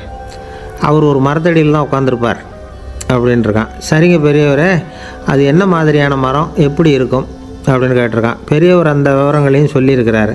அது மட்டும் இல்லை சந்திக்கிற நாள் நேரம் வினாடி முதற்கொண்டு எல்லா விவரங்களையும் துல்லியமாக சொன்னாராம். இவ்வளவு விவரங்களை இவரால் எப்படி சொல்ல முடியுது அப்படின்னு இவனுக்கு ஆச்சரியம். இருந்தாலும் அந்த பெரியவர் கடைசியாக ஒரு விவரம் சொன்னார். அது என்ன தெரியுமா? எப்படியும் நீ அவரை சந்திக்கிறதுக்கு ஒரு முப்பது வருஷம் ஆகும் அப்படின்னு சொல்லிவிட்டாராம். ரொம்ப நன்றிங்க பெரியவரே அப்படின்னு சொல்லிவிட்டு அந்த இளைஞன் புறப்பட்டுருக்கான். இப்போ அவனுக்கு குரு பற்றின விவரம் எல்லாம் கிடச்சிட்டுது. சந்திக்கிற நேரமும் தெரிஞ்சுட்டுது. ஆனால் முப்பது வருஷம் அவரை தேடி அலைய வேண்டியிருக்குமே. அவன் தேட ஆரம்பித்தான் காடு மலை எல்லாம் சுற்றி அலைஞ்சான். பல வருஷங்கள் தேடினான் அழுத்து போயிட்டான் கடைசியில். அவனுக்கும் வயசாயிட்டுது. கடைசியில் தன்னுடைய சொந்த ஊருக்கே திரும்பி போய்கிட்டு இருந்தான். அங்கே ஒரு மரத்தடியில் அவன் தேடிக்கிட்டு இருந்த குருநாதர் கிடைச்சார். யார் அவருன்னா முப்பது வருஷத்துக்கு முன்னாடி வழி சொல்லி கொடுத்தாருல அதே பெரியவர். அவருக்கு இப்போ முப்பது வயசு அதிகமாக இருந்தது அதே மரம். அன்னைக்கு பெரியவர் சொன்ன அடையாளம் இப்போ பொருத்தமாக இருந்தது. இப்போ அந்த பெரியவர் சொன்னார் சரியாக வந்து சேர்ந்துட்டேன் வா உனக்காக தான் நான் இவ்வளவு காலமும் காத்துக்கிட்டு இருந்தேன் அப்படின்னாரான் என்ன சொல்கிறீங்கன்றிருக்கான் முப்பது வருஷத்துக்கு முன்னாடி என்கிட்ட வந்தியே அப்போவே என் காலம் வந்து முடிஞ்சு போயிருந்தது. அப்போவே என்ன உனக்கு அடையாளம் தெரியல. அதனால் இவ்வளவு காலம் உனக்காக காத்துட்ருக்கும்படி ஆகிட்டுது அப்படின்னாராம். ஐயா அப்போவே நீங்கள் சொல்லியிருக்கலாமே இதுதான் முப்பது வருஷம் கழித்து நீ சந்திக்க போகிற இடம் நான் தான் உன்னுடைய குரு அப்படின்னு சொல்லியிருக்கலாமே அப்படின்ட்டுருக்கான் அந்த பெரியவர் சிரிச்சுக்கிட்டே இதுக்கு பதில் சொன்னாராம். நான் எவ்வளவோ விவரமாக தான் சொன்னேன் நீ சரியாக புரிஞ்சிக்கல. காரணம் அப்போ நீ போதுமான அளவுக்கு பக்குவம் பெற்றிருக்கவில்லை. அதனால் புரியும் சக்தி இல்லாமல் போயிட்டுதப்போ முப்பது ஆண்டு காலம் நீ அலைஞ்சு தெரிஞ்சிருக்கிற. அது காரணமாக இப்போ உனக்கு அந்த பக்குவம் வந்துட்டுது. அதனால தான் அடையாளம் காண முடிஞ்சது. நானே உன்னுடைய குரு அப்படின்னாராம். இதிலேருந்து என்ன தெரியுதுன்னா ஆன்மீகத்தில் மாணவனாக சேர்றதுக்கு கூட ஒரு பக்குவத்தன்மை தேவைப்படுது. ஒரு பெரிய ஞானி அவர்கிட்ட சீடனாக இருக்க ஒருத்தன் வந்தான். எதிரில் நின்னான். ஞானி அவனை வெகு நேரம் உற்று பார்த்தார். அப்புறம் சொன்னார் சீடனாக இருக்கிறது ரொம்ப சிரமம்னார். நான் தயாராக இருக்கிறேன்னா. அது இன்னமும் சிரமமாச்சே. இங்கே வந்து குருவாக இருக்கிறது மட்டுமே சுலபம். அப்படின்னாராம் அப்படின்னா நான் குருவாகவே ஆயிடுறேன். அப்படின்னானா. இது போலவே இந்த காலத்தில் கதை ஒன்று உண்டு. ஒரு பள்ளிக்கூடத்தில் வகுப்பு ஆசிரியர் மாணவனை திட்டிக்கிட்டு இருந்தார். டேய் நீ நூற்றுக்கு பத்து மார்க்கு தான் வாங்கிக்கிட்டு இருக்க. இவ்வளவு மோசமாக நீ படித்தா கடைசியில் மாடு மேய்க்கிறது கூட லாய்க்கு இல்லாதவனா ஆகிடுவேன் அதுக்கப்புறம் என்ன செய்ய போகிறேன் அப்படின்னாராம். பையன் தலையை சொரிஞ்சிக்கிட்டே சொன்னானா சார் அப்படின்னா ஒன்று செய்கிறேன் அப்படின்னானா இவர் கேட்டிருக்கார் என்ன செய்ய போகிறேன்னு வேற என்ன சார் உங்களை மாதிரி ஒரு ஆசிரியர் ஆகிடுறேன் அப்படின்னானா. இமயமலை அடிவாரத்தில் ஒரு மடம். அங்கே ஒரு சன்னியாசி இருந்தார். அவர்கிட்ட ஒருத்தர் வந்தார். சுவாமி ஆசையை உதற நினைக்கிறேன் முடியல ஒட்டிக்கிட்டே வருது. அப்படின்னாராம். இப்படி உட்கார ஒரு கதை சொல்கிறேன் அப்படின்னு சொல்லி அவர் சொல்ல ஆரம்பித்தாராம் அவர் சொன்ன கதை என்னென்னா ஒரு ஊரில் ஒரு ஆள் இருந்தான். அவன் பேர் குப்புசாமி. அவங்கிட்ட எப்பவும் ஒரு பழைய தொப்பி இருக்கும். விடவே மாட்டான். அதனால் அவனை எல்லாரும் தொப்பி சாமி அப்படின்னு தான் கூப்பிடுறது வழக்கம். ஒரு புது தொப்பி வாங்கிக்கப்படாதாப்பா அப்படின்னு நண்பர்கள்லாம் சொல்லி பார்த்தாங்க. பணத்துக்கு எங்கே போவேன் அப்படின்னு பணம் வச்சுருக்கான். செலவு பண்ண மனசு வரல. மகா கஞ்சன். பழைய பாட்டில்கள்லாம் வாங்கி விற்றுக்கிட்டு இருந்தான். அப்படி ஒரு தடவை பழைய கண்ணாடி சாமான்களை ஏலத்தில் எடுத்தப்போ அதில் ஒரு அருமையான சென்ட்டு பாட்டில் கிடச்சிது. உடனே ஒரு ஐடியா பண்ணான். அந்த சென்ட்டை வந்து சின்ன சின்ன பாட்டில்களில் அடைச்சி ஜன்னல் ஓரமாக அடுக்கி வச்சுட்டான். அதை விற்றா நிறைய பணம் கிடைக்குமே அதனால். இதுக்கு இடையில் ஒரு நாள் அவன் வந்து அப்படியே உட்காந்துருந்தான் அந்த நேரம் நண்பன் வந்தான். ஏன்டா உன் பழைய தொப்பியை மாற்றப்படாதா ஊரில் எல்லோரும் கேலி பேசுகிறாங்களே உன்னை தொப்பி சாமின்னு அப்படின்னு சொல்லி கேட்டிருக்கான். இந்த சென்ட்டு பாட்டில் விற்றதும் பணம் வரும் அதுக்கப்புறம் பார்க்கலாம் அப்படின்னு நானா இவன். சரி வா நீச்சல் குளத்துக்கு போயிட்டு வருவோம் அப்படின்னு கூப்பிட்ருக்கான் நண்பன். ரெண்டு பேரும் போனாங்க. அதே நேரம் அந்த ஊர் நீதிபதியும் அங்கே குளிக்க வந்தாராம். அவர்கிட்ட இருந்தது விலை வசந்த ஒரு புது தொப்பி. அதை அங்கே இருந்த ஸ்டாண்டில் மாட்டிவிட்டு குளிக்க போனார். இதுக்கிடையில் குப்புசாமி குளிச்சுட்டு வந்தான். அவனுடைய பழைய தொப்பியை காணலை. அந்த புது தொப்பியை பார்த்தா இது நண்பனுடைய வேலை தான் அப்படிங்கிறதாக புரிஞ்சுக்கிட்டு அதை எடுத்து மாட்டிட்டு வந்துட்டான். நீதிபதி குளிச்சுட்டு வந்து பார்க்குறாரு தொப்பியை காணும். போலீஸில் புகார் கொடுத்தார். அவங்க வந்து தேடினாங்க ஒரு மூலையில் பழைய தொப்பி கிடச்சிது. அடடா இது நம்ம குப்புசாமியோட தொப்பி இல்லையா? அப்படின்னு நானா ஒருத்தன். உடனே அவன் வீட்டுக்கு தேடிட்டு போயிருக்காங்க. அங்கே போய் பார்த்தா புது தொப்பி அங்கே இருக்குது. உடனே அவனுக்கு ஆயிரம் ரூபா அபராதம் போட்டாங்களாம். அவன் பணத்தை கட்டிவிட்டு ரொம்ப எரிச்சலோடு வீட்டுக்கு வந்தான். பழைய தொப்பி கண்ணில் பட்டுது மறுபடியும். உன்னால் தானே எனக்கு ஆயிரம் நஷ்டம் அப்படின்னு சொல்லி அதை எடுத்துக்கிட்டு அப்படி போயிருக்கான். அந்த ஊர் குளத்துல வீசி எரிஞ்சிட்டு வந்துட்டான். அது மீன் பிடிக்கிற ஒருத்தன் கையில் சிக்கிச்சு. அவன் வர்ற வழியில் அதை எடுத்து வேகமாக வீசி எறிஞ்சான். அது நேராக குப்புசாமி வீட்டு ஜன்னல் வழியாக உள்ளே வந்து இந்த சென்ட்டு பாட்டில்கள் மேலே உழுந்து எல்லாம் உடஞ்சி நொறுங்கி போச்சு. குப்புசாமி பார்த்தான். தோட்டத்தில் ஆழமாக ஒரு குழியை வெட்டினான். அந்த தொப்பியை போட்டான் மூடிவிட்டான் இதை அடுத்த வீட்டுக்காரன் பார்த்தான். ஏதோ புதையல் தான் வச்சுருக்கான் போல இருக்குன்னு நினச்சான். போலீஸில் போய் புகார் கொடுத்துட்டான். மறுபடியும் போலீஸ் குழியை தோண்டினாங்க. பழைய தொப்பி மறுபடியும் வெளியில் வந்தது. எல்லாரும் சிரிக்கிறாங்க. அன்னைக்கு ராத்திரியே அந்த தொப்பியை எடுத்துக்கிட்டு நேராக புறப்பட்டான். ஒரு கல்லில் அதை சேர்த்து கட்டி குடிநீர் தொட்டி இருக்கும்ல அதில் போட்டுட்டு வந்துட்டான். இனிமேல் என்ன பண்ணும் பார்ப்போன்னு ஒரு நாள் திடீர்னு குழாயெல்லாம் அடப்பட்டு போச்சு. மாநகராட்சி அலுவலர்கள் வந்து என்னன்னு பார்த்தா அந்த பழைய தொப்பி குழாயை அடைச்சிக்கிட்டு இருக்குது. இது குப்புசாமியோட தொப்பிங்கிறது தான் எல்லாருக்கும் தெரியுமே. உடனே குடிநீரை வந்து பாழாக்கணத்துக்காக குப்புசாமிக்கு கோர்ட்டு ரெண்டாயிரத்தி ஐநூறுரூவா அபராதம் போட்டுவிட்டுது. அதையும் கட்டிவிட்டு வெளில வந்தான். கடைசியாக முடிவு பண்ணான் ஒரு நெருப்பு குச்சியை கிழிச்சான் தொப்பியை கொளுத்தினான் எரிஞ்சுது. எடுத்து வெளில எரிஞ்சான். கொஞ்ச நேரத்தில் தீ அணைப்பு படம் வந்துட்டுது. ஆமாம் இவன் எடுத்து எரிஞ்சது வெளியில் விழுந்து வீட்டு கூரையே பற்றிக்கிட்டு எரிய ஆரம்பிச்சுட்டுது. அவனோட பணத்தாசையும் அதோடு சேர்ந்து எரிஞ்சு போச்சான். இப்படி ஒரு கதை. இந்த கதையை சொல்லி முடித்தார் அந்த இமயமலை அடிவாரத்தில் இருந்த சன்னியாசி. இப்போ அந்த குப்புசாமி எங்கே இருக்கிறான்னு கேட்டார் எதிரில் இருந்தவர். இதோ உன் எதிரிலே இருக்கிறான். நான் தான் அந்த குப்புசாமி அப்படின்னாரான் அந்த சன்னியாசி. அந்த குப்புசாமி கிட்ட இருந்தது மாதிரி ஒரு பழைய தொப்பி நம்ம ஒவ்வொருத்தர்கிட்டையும் உண்டு. அதை எப்படி தொலைக்கிறதுன்னு தெரியாமல் தடுமாறிக்கிட்டு இருக்கிறோம்.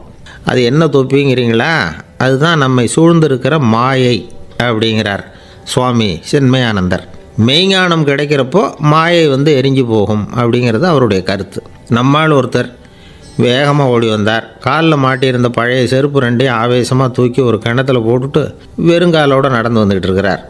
ஏன் அப்படி பண்ணீங்க? அப்படின்னு கேட்டோம்.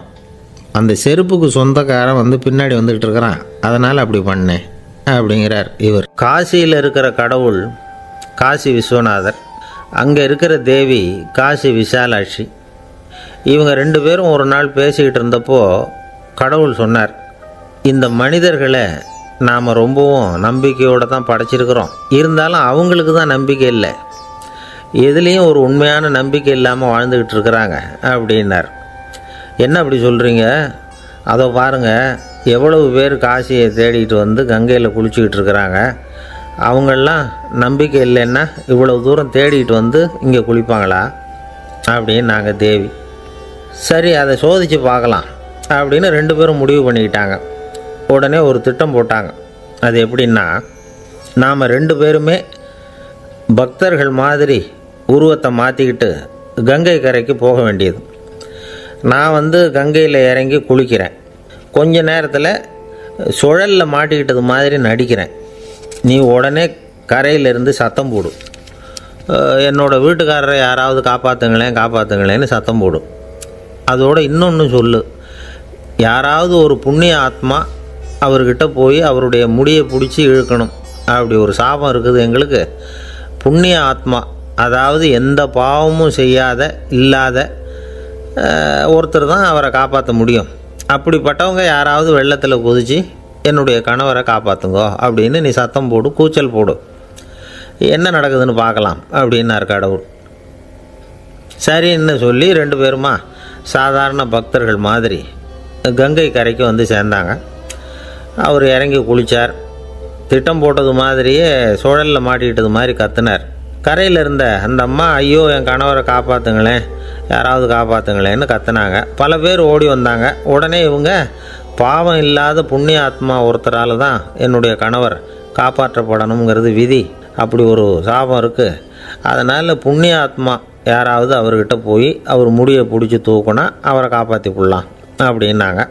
இவங்க இப்படி சொன்னதும் எல்லாரும் திகைச்சு போய் நின்றுட்டாங்க ஒவ்வொருத்தருக்கும் அவங்க செஞ்ச பாவம்லாம் ஒவ்வொன்றா ஞாபகத்துக்கு வர ஆரம்பிச்சுட்டுது. சரி இதுக்கு நாம லாயக்கு இல்லை அப்படின்னு சொல்லி ஒதுங்கி போக ஆரம்பிச்சிட்டாங்க எல்லாம்.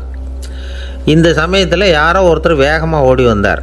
ஆற்றுல குதித்தார் அவர்கிட்ட போனார் முடியை பிடிச்சார் தூக்குனார் அவரை காப்பாற்றி கரைக்கு கொண்டுட்டு வந்துட்டார். அப்படி காப்பாற்றின அந்த ஆளை இவங்க ரெண்டு பேரும் தனியாக கூப்பிட்டுக்கிட்டு ஒரு மண்டபத்துக்கு வந்துட்டாங்க. வந்து விசாரிக்கிறாங்க. நீ யாரப்பா? அப்படின்னு கேட்குறாங்க ஏதும் தெரியாத மாதிரி. நான் இந்த ஊர் அன்ன சத்திரத்தில் வேலை செய்கிற ஒரு சமையல்காரன் அப்படிங்கிறார். நீ வந்து கங்கையில் குளிக்கிறது உண்டான்னு கேட்டிருக்காங்க. நான் இந்த ஊர்லேயே தான் இருக்கிறேன். இருந்தாலும் தினமும் கங்கையில் குளிக்கிறதில்ல. எப்பாவது ஒரு நாள் அங்கே குளிப்பேன் அப்படின்னார். கங்கையில் மூழ்கி எழுந்திரிச்சா பாவம்லாம் தொலையும்னு சொல்கிறாங்க அப்படி இருக்கிறப்போ அங்கே இன்னைக்கு கங்கையில் குளிச்சுக்கிட்டு இருக்கிறவங்கெல்லாம் தங்களை வந்து புண்ணிய ஆத்மாவாக நினைக்கல. கங்கையில் குளிக்காத நீ உன்னை வந்து புண்ணிய ஆத்மாவாக நினச்சி என்னை காப்பாற்ற வந்திருக்கிற? அது எப்படி? அப்படின்னு கேட்டார். அதுக்கு அந்த ஆள் சொல்கிறான் கங்கையில் குதித்ததுக்கு அப்புறம் தானே உங்களை காப்பாற்ற போகிறோம் அப்படி குதிக்கும் பொழுது என்னுடைய பாவம்லாம் போயிருக்கும்ல. நான் புண்ணிய ஆத்மாவாக ஆயிருப்பேனே அதனால தான் துணிஞ்சு வந்து உங்களை காப்பாற்றினேன் அப்படின்னா. கடவுளும் தேவியும் அவனுக்கு வந்து காட்சி கொடுத்தாங்களாம். இப்படி ஒரு கதை உண்டு. அதாவது கங்கையில் குளிச்சுக்கிட்டு இருக்கிறவங்களுக்கே தங்களுடைய பாவம் போகுங்கிற நம்பிக்கை பரிபூர்ணமாக இல்லை. குளிக்காத ஒருத்தனுக்கு அந்த நம்பிக்கை இருந்தது. அதனால் அவனால் கடவுளை பார்க்க முடிஞ்சது. கடவுளை வந்து நாமளும் பார்க்க முடியுமா? முடியாதா? அப்படிங்கிற குழப்பம்லாம் நமக்கு வேண்டியதில்லை. நம்பிக்கையோடு வாழணுங்கிற உண்மையை மட்டும் இந்த கதையிலேருந்து புரிஞ்சுக்கிட்டால் போதும். ஏன்னா இந்த கதையை கேட்டுட்டு ஒரு நண்பன் குதர்க்கமாக ஒரு கேள்வி கேட்டான். ஏன் சார்? கங்கையில் குளித்தா பாவம் போயிடும்னு சொல்கிறீங்களே நான் எனக்கு வேண்டாத ஒருத்தனை அழைச்சிட்டு போய் கங்கையிலேயே தள்ளி விட்டுட்டு அதுக்கப்புறம் அங்கேயே முழுக்க போட்டுட்டு நான் செஞ்ச பா பாவத்தை வந்து அதுலேயே கழுவி விட்டுட்டு மறுபடியும் உங்ககிட்ட வந்துடுறேன்னு வச்சுக்கோங்க. நீங்கள் என்னை வந்து புண்ணிய ஆத்மான்னு ஏற்றுக்குவீங்களா அப்படிங்கிறான். ஆள் கொஞ்சம் ஆசந்தான் நம்மளே அங்கே அழைச்சிட்டு போனாலும் போயிடுவான். வாழ்க்கையில் சில சந்தர்ப்பங்களில் நாம் வந்து சில அவமானங்களை சந்திச்சே தீர வேண்டியிருக்கு. என்ன பண்ணுறது காலம் அப்படி. அவமானப்படுறவங்க உடனே அடங்கி போயிடுறது தான் உலக வழக்கம். அவமானப்பட்டால் உடனே சீறி எழறவங்களும் உண்டு. ஆனால் அதையே ஒரு சவாலாக எடுத்துக்கிட்டு முன்னுக்கு வர்றவங்களும் சில பேர் இருக்கிறாங்க. அவங்க ரொம்ப அபூர்வம். இன்றைக்கி மனோதத்துவ நிபுணர்கள்லாம் என்ன சொல்கிறாங்க தெரியுமா? அவமானப்பட்டுட்டா உடனே அடங்கி போயிடக்கூடாதான் அதையே ஒரு சவாலாக எடுத்துக்கிட்டு மனசில் ஒரு வைராக்கியத்தோட முயற்சி பண்ணினா வாழ்க்கையில் எல்லாரும் முன்னேறலாமா? அவமானங்கிறத நாம் வந்து வைராக்கியமாக மாற்றிக்கணும் அதுதான் வெற்றிக்கு வழி. ராமர் வந்து இந்த பூமியில் பிறந்ததே ஒரு வைராக்கியத்தினால தான் சார் அப்படின்னார் ஒருத்தர். எப்படிங்க அது? அப்படின்னு கேட்டேன். அவர் சொன்னார் தசரதருக்கு ராமர் வந்து குழந்தையா வந்து பிறக்கணும். அப்போ தான் இங்கே இருக்கிற கஷ்டங்கள்லாம் நீங்கும் அப்படின்னு சர்வ லோகமும் எதிர்பார்த்துக்கிட்டு இருக்குது. ஆனால் அவர் எப்போ வந்து பிறப்பார் அப்படின்னு யாருக்கும் தெரியல. அந்த காரியம் சீக்கிரம் நடக்கணுமே. அதுக்கு என்ன பண்ணுறது நாரதர் வந்தார் ஒரு நாள் தசரதரை தேடி. தசரதா உனக்கு ஒரு செய்தி தெரியுமான்னு ஆரம்பித்தார் அவர் எப்பவும் இப்படித்தானே ஆரம்பிக்கிறது வழக்கம்? என்ன விஷயம்னு கேட்டார் தசரதர். தசரதா நீ அடிக்கடி உன்னோட தேரில் ஏறிக்கிட்டு தேவலோகத்துக்கு போகிற அங்கே போகிற வர்ற எல்லாம் பண்ணிகிட்டு இருக்க எல்லாம் சரி. தேவலோகத்துலேயும் உன்னை நல்லபடியாக தான் வரவேற்கிறாங்க. தேவேந்திரன் உன்னை பிரியமாக அழைச்சிட்டு போய் தன்னுடைய அரியாசனத்திலேயே தனக்கு பக்கத்திலேயே உட்கார வைக்கிறான். நீயும் சந்தோஷமாக உட்காந்து பேசிவிட்டு வந்துடுற. ஆனால் நீ இங்கே வந்ததுக்கு அப்புறம் அங்கே என்ன நடக்குது தெரியுமா உனக்கு? அப்படின்னாரான் நாரதர். என்ன நடக்குது? எனக்கு ஒன்றும் தெரியலையே அப்படின்னாரான் தசரதர். நாரதர்கிட்ட வந்து கிட்டத்தில் வந்து கேட்டிருக்கார். கொஞ்சம் சொல்லுங்கள் என்னது அப்படின்னு. அவர் ஒரு நெருங்கி வந்தாராம் நாரதரும். மெதுவாக அவர் காதோட காதாக சொன்னாராம். அதாவது நம்ம பாஷையில் சொல்லப்போனால் பற்ற வைக்கிறார். நீ அங்கே தேவேந்திரங்கிட்ட உட்காந்து பேசிவிட்டு வந்த பிறகு நீ அங்கே உட்காந்துருந்த அரியாசனத்தை தண்ணி ஊற்றி கழுவி சுத்தப்படுத்துகிறாங்க நீ என்ன அந்த அளவுக்கு சுத்தம் இல்லாத ஆளா? தினம் குளிக்காமையாக இருக்கிற? அப்படின்னாராம். தசரதருக்கு இது ரொம்ப அவமானமாக போயிட்டுது. அப்படியே செய்கிறாங்க அப்படின்னாரான் ஆமாம் நீ வேணும்னா நான் சொல்கிறது உண்மையா இல்லையா அப்படின்னு சோதனை பண்ணி பார்த்துக்கோ அப்படின்னாரான் நாரதர். உடனே தசரதர் இதுக்காகவே புறப்பட்டு தேவலோகம் போனார். அங்கே வழக்கம் போலவே இவரை கூப்பிட்டு உட்கார வச்சு பேசிக்கிட்டு இருந்தான் தேவேந்திரன். கொஞ்ச நேரம் கே பேசிக்கிட்டு இருந்துட்டு சரி நான் கிளம்புறேன்னு புறப்பட்டார். சரி அவனும் வாசல் வரைக்கும் வந்து வழி அனுப்பி வச்சுட்டு உள்ளே போயிட்டான். தசரதர் வெளியில் கொஞ்ச நேரம் மறைஞ்சு இருந்துட்டு மெதுவாக உள்ளே எட்டி பார்த்தார் என்ன நடக்குதுன்னு. நாரதர் சொன்னது உண்மைதான். தசரதர் உட்காந்துருந்த ஆசனத்தை அங்கே ரெண்டு தேவர்கள் கழுவி சுத்தப்படுத்திக்கிட்டு இருக்கிறாங்க. தசரதரால் இதை தாங்கிக்க முடியல. அவருக்கு ரொம்ப அவமானமாக போச்சு. நேராக கிடுகிடுன்னு தேவேந்திரங்கிட்டே போனார். நான் உட்காந்துருந்த இருக்கையே சுத்தம் பண்ணுறியே நான் என்ன அந்த அளவுக்கு பாவியா? அப்படின்னு கேட்டார். ரொம்ப கோபமாக கேட்டார். தசரதரே மனுஷனுக்கு மூன்று கடன்கள் உண்டு. தேவ கடன் ரிஷி பித்ரு கடன் இதை தீர்க்காதவன் பாவியாகிறான். இதில் மகனை பெறுவதால் தான் பித்திருக்கடன் தீரும். உனக்கு மகன் கிடையாது. அதனால் நீ பாவி ஆகிற பாவி உட்காந்துருந்த இடம்ங்கிறதுனால அதை சுத்தம் செய்ய வேண்டியது எங்கள் கடமை. அப்படின்னு நானும் தேவேந்திரன். இந்த இடத்துல தசரதருக்கு ஏற்பட்ட அவமானம் ஒரு வைராக்கியமாக மாறிச்சு. தேவேந்திரனே கேட்டுக்கோ. ஒரு மகனை பெற்ற பிறகு தான் இந்த சபையில் மறுபடியும் அடி எடுத்து வைப்பேன் அப்படின்னு சொல்லிவிட்டு போயிட்டாராம். போய் புத்திர காமேஷ்டி யாகம் பண்ணார் புத்திரர்கள் பிறந்தார்கள். இந்த கதையில் உள்ள கருத்து என்னென்னா தேவேந்திரன் தசரதரை அப்படி அவமானப்படுத்தலைன்னா அவருக்கு இப்படி ஒரு வைராக்கியம் பிறந்திருக்குமா? யோசிச்சு பார்க்கணும். நமக்கு ஏற்படுகிற சில அவமானங்களையும் வைராக்கியமாக மாற்றிக்குவோம் அப்படி மாற்றிக்கிட்டோம்னா வாழ்க்கையில் வந்து முன்னேறலாம். நம்ம ஆளுங்க சில பேர் அவமானத்தை வந்து வைராக்கியமாக மாற்றிக்கிறது எப்படி தெரியுமா? நம்மக்கிட்ட ஒரு பையன் சொன்னான் எங்கள் அப்பா என்னை எல்லாருக்கும் முன்னாடி வச்சு திட்டிவிட்டார். பொறுப்பு இல்லாமல் ஊர் சுற்றுறேன்னு சொல்லி அவமானப்படுத்தி விட்டார். இனிமேல் நீ என் முகத்திலேயே முழிக்காதடா போடான்னு வேற சொல்லிவிட்டார். எனக்கு ரோஷம் வந்துட்டுது. அந்த அவமானத்தை வைராக்கியமாக மாற்றிக்கிட்டேன் அன்னையிலேருந்து அவர் முகத்திலேயே முழிக்கிறது இல்லை அப்படின்னா. அப்படியான்னு கேட்டோம். ஆமாங்க. அவர் வீட்டில் இல்லாத நேரமாக பார்த்து உள்ளே சமையல் கட்டுக்கு போய் சாப்பிட்டுட்டு நைஸாக வெளியில் வந்துடுவேன் அப்படிங்கிறான் அவன். ஜவஹர்லால் நேரு பிரதமராக இருந்த சமயம் அவர் ஒரு தடவை சென்னைக்கு வந்திருக்கிறார். இங்கே சில முக்கிய நிகழ்ச்சிகளில் கலந்துக்கிறதுக்காக வந்திருந்தார். ஆளுநர் மாளிகையில் ஒரு நாள் ராத்திரி தங்கி மறுநாள் புதுடெல்லி புறப்படுறதாக ஏற்பாடு. நிகழ்ச்சியிலெல்லாம் முடிச்சுக்கிட்டு ஆளுநர் மாளிகையில் தங்கியிருக்கிறார். அன்றைக்கு இரவு படிக்கிறதுக்கு ஒரு முக்கியமான புத்தகம் அவருக்கு தேவைப்பட்டது. அந்த சமயத்தில் உலக அளவில் ஒரு முக்கியமான பொருளாதாரம் சம்பந்தமான ஒரு புத்தகம் வெளியாகி இருக்கிற விஷயம் அவருக்கு தெரியும். அந்த புத்தகம் மெட்ராஸுக்கு வந்திருக்குமா? அது இங்கே கிடைக்குமா? அப்படின்னு விசாரிச்சிருக்கிறார் நேருஜி. அவர் இப்படி கேட்ட உடனே அங்கே இருந்தவங்கள்லாம் ரொம்ப பரபரப்பாக செயல்பட ஆரம்பிச்சிட்டாங்க. முக்கியமான இடங்கள்ல எல்லாம் விசாரிச்சிருக்கிறாங்க. அந்த புத்தகம் உங்ககிட்ட இருக்கான்னு. சென்னையில் உள்ள கன்னிமாரா நூல் நிலையத்துக்கு எப்படியும் அந்த புத்தகம் வந்திருக்கணும் அப்படின்னு ஒரு நம்பிக்கை அங்கே விசாரித்தாங்க அந்த புத்தகம் ரெண்டு நாளைக்கு முன்னாடி தான் அங்கே வந்திருக்குது அப்படிங்கிற விஷயம் தெரிஞ்சுது. உடனே எல்லோரும் அங்கே ஓடினாங்க. அவங்களுக்கு இன்னொரு சந்தேகம். புத்தகம் வந்திருக்கு சரி. அது இந்த சமயத்தில் வேறு யாரும் படிக்கிறதுக்கு எடுத்துகிட்டு போயிருக்கக்கூடாதே அப்படிங்கிற சந்தேகம். இருந்தாலும் மனசுக்குள்ளே ஒரு தைரியம். இப்படி ஒரு புத்தகம் வெளிவந்திருக்கிற விஷயமே நேருஜி சொல்லி தான் நமக்கே தெரியும். அதுவும் இல்லாமல் உலக பொருளாதாரம் சம்பந்தமான ஏதோ ஒரு புத்தகம் அது. அதை போய் இந்த நேரத்தில் அவ்வளவு ஆர்வமாக யார் எடுத்துகிட்டு போயிட போகிறாங்க அப்படிங்கிற தைரியம். இந்த தைரியத்தோடு அந்த நூல் நிலையத்துக்கு ஓடினாங்க. புத்தகத்தை தேடினா அது கிடைக்கல. யாரோ எடுத்துகிட்டு போயிருக்கிறாங்க. நேருவுக்கு மட்டுமே தெரிஞ்சிருந்த அந்த புத்தகம் பற்றின விஷயம் சென்னையில் வேற ஒருத்தருக்கும் தெரிஞ்சிருக்குது. உடனே எல்லாரும் பரபரப்பாக அந்த அதுக்குன்னு இருக்கிற ரிஜிஸ்டர் இருக்குல்ல பதிவேடு அதை புரட்டி பார்க்குறாங்க.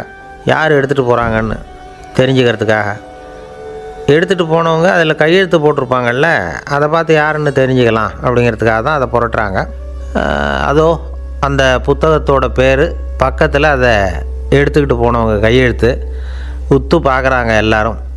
அதில் போட்டிருக்குது பேர் சிஎன் அண்ணாதுரை அப்படின்னு எழுதியிருந்தது. அவர் தான் பேரறிஞர் அண்ணா. நேரு படிக்க விரும்பின ஒரு புத்தகத்தை அதே நேரம் படிக்க விரும்பின இன்னொரு தலைவர் இவர். படிக்கிறதுல அவருக்கு இருந்த ஆர்வத்தை நாம் தெரிஞ்சுக்கணும்னா அதுக்கு எவ்வளவோ சம்பவங்கள் இருக்குது கடைசி காலத்தில் அவர் அடையாறு மருத்துவமனையில் படுத்திருக்கிறார். அவருக்கு ஒரு முக்கியமான அறுவை சிகிச்சை செய்ய வேண்டியிருக்குது. அவசரமாக அமெரிக்காவிலேருந்து டாக்டர் மில்லர் வந்திருக்கிறார். அவர்கிட்ட கேட்குறார் டாக்டர் நாளைக்கே அறுவை சிகிச்சை செய்ய போகிறீங்களா அப்படின்னு. ஆமாங்கிறார் டாக்டர் மில்லர். நாளைக்கு மறுநாள் செஞ்சுக்கிறனே அப்படின்னாரா அண்ணா. ஏன் ஏதாவது நாள் பார்க்குறீங்களான்னு கேட்டிருக்கார். இல்லை ஒரு புத்தகத்தை படிச்சுக்கிட்டு இருக்கிறேன். அதை நாளைக்குள்ளே முடிச்சிருவேன். அதுக்கப்புறம் நான் இறந்தாலும் கவலை இல்லை அப்படின்னாரா இவர். அவர் தான் அறிஞர் அண்ணா. சங்ககால நூல்கள்லேருந்து சமீபத்தில் வந்த நூல்கள் வரைக்கும் எல்லாம் அவர் படிச்சிருக்கிறார். ஒரு திருமண விழாவில் அவர் பேசும்பொழுது சொன்ன விஷயம் இது. சங்க காலத்தில் காதலியை மணக்க விரும்புகிறவனுக்கு அவனுடைய தந்தை வீர சோதனைகள்லாம் வைப்பார். போய் புலிப்பல் கொண்டுக்கிட்டு வா அப்போ தான் என் பொண்ணை கொடுப்பேன் அப்படின்னு சொல்லுவார். காதலன் உடனே காட்டுக்கு போவான் ஒரு புலியை கொன்று அதனுடைய பல்லை கொண்டுக்கிட்டு வருவான். அதை வீர பதக்கத்தில் பதிச்சு அவனுக்கு மாமனார் சூட்டுவார் கல்யாண சமயத்தில். இப்போலாம் காதலன் கிட்ட அப்படி சொல்ல முடியாது. இப்போலாம் காதலன்கிட்ட காட்டுக்கு போய் புலிப்பல் கொண்டுக்கிட்டு வான்னு யாராவது சொன்னால் புலி தான் மாப்பிள்ளையாக வந்து சேரும் அப்படின்னார். ஒரு கடைக்கு போனேன். அஞ்சு ரூபா பணத்தை எடுத்து கொடுத்தேன். ஒரு தினசரி பத்திரிகையை கேட்டேன். அவர் உடனே அங்கே அடுக்கி வச்சுருந்த பத்திரிகையில் ஒன்று எடுத்து என் கையில் கொடுத்தார். வாங்கிக்கிட்டேன். மீதி பணத்தை எடுத்தார். அதையும் என் கையில் கொடுக்கணும்ல? கொடுக்கல. எதிரில் இருந்த பலகையில் வச்சு எடுத்துக்க சொன்னார். எப்பவும் அவர் அப்படி தான் பண்ணுவார். நானும் எடுத்துக்கிட்டு வந்துடுவேன் இவர் ஏன் இப்படி பண்ணுறாருங்கிறது எனக்கு ரொம்ப நாளாக ஒரு சந்தேகம். ஒரு நாள் அவர்கிட்டயே இதை கேட்டுவிட்டேன் ஏங்க நீங்கள் உங்கள் கடைக்கு வந்து பொருள்கள் வாங்குறவங்களுக்கு நீங்கள் பாக்கி சில்லறையை கொடுக்குறப்போ பலகையில் வச்சு விட்றீங்க. கையில் கொடுக்க மாட்டேங்கிறீங்களே. ஏன் அப்படின்னு கேட்டேன். காசை கையில் கொடுத்தா நம்மக்கிட்ட இருக்கிற லட்சுமி போயிடுவா சார் அப்படின்னார். அதாவது பணம் செலவாயிடும் அப்படின்னு அர்த்தமாக இன்னொரு நண்பர் அவர் ஒரு நாள் வழக்கத்துக்கு மாறாக ரொம்ப சோகமாக உட்காந்துருக்கிறார் ஏங்க என்னாச்சு? ஏன் இப்படி கப்பலே கவிழ்ந்தது மாதிரி உட்காந்துருக்குறீங்க அப்படின்னு கேட்டேன்.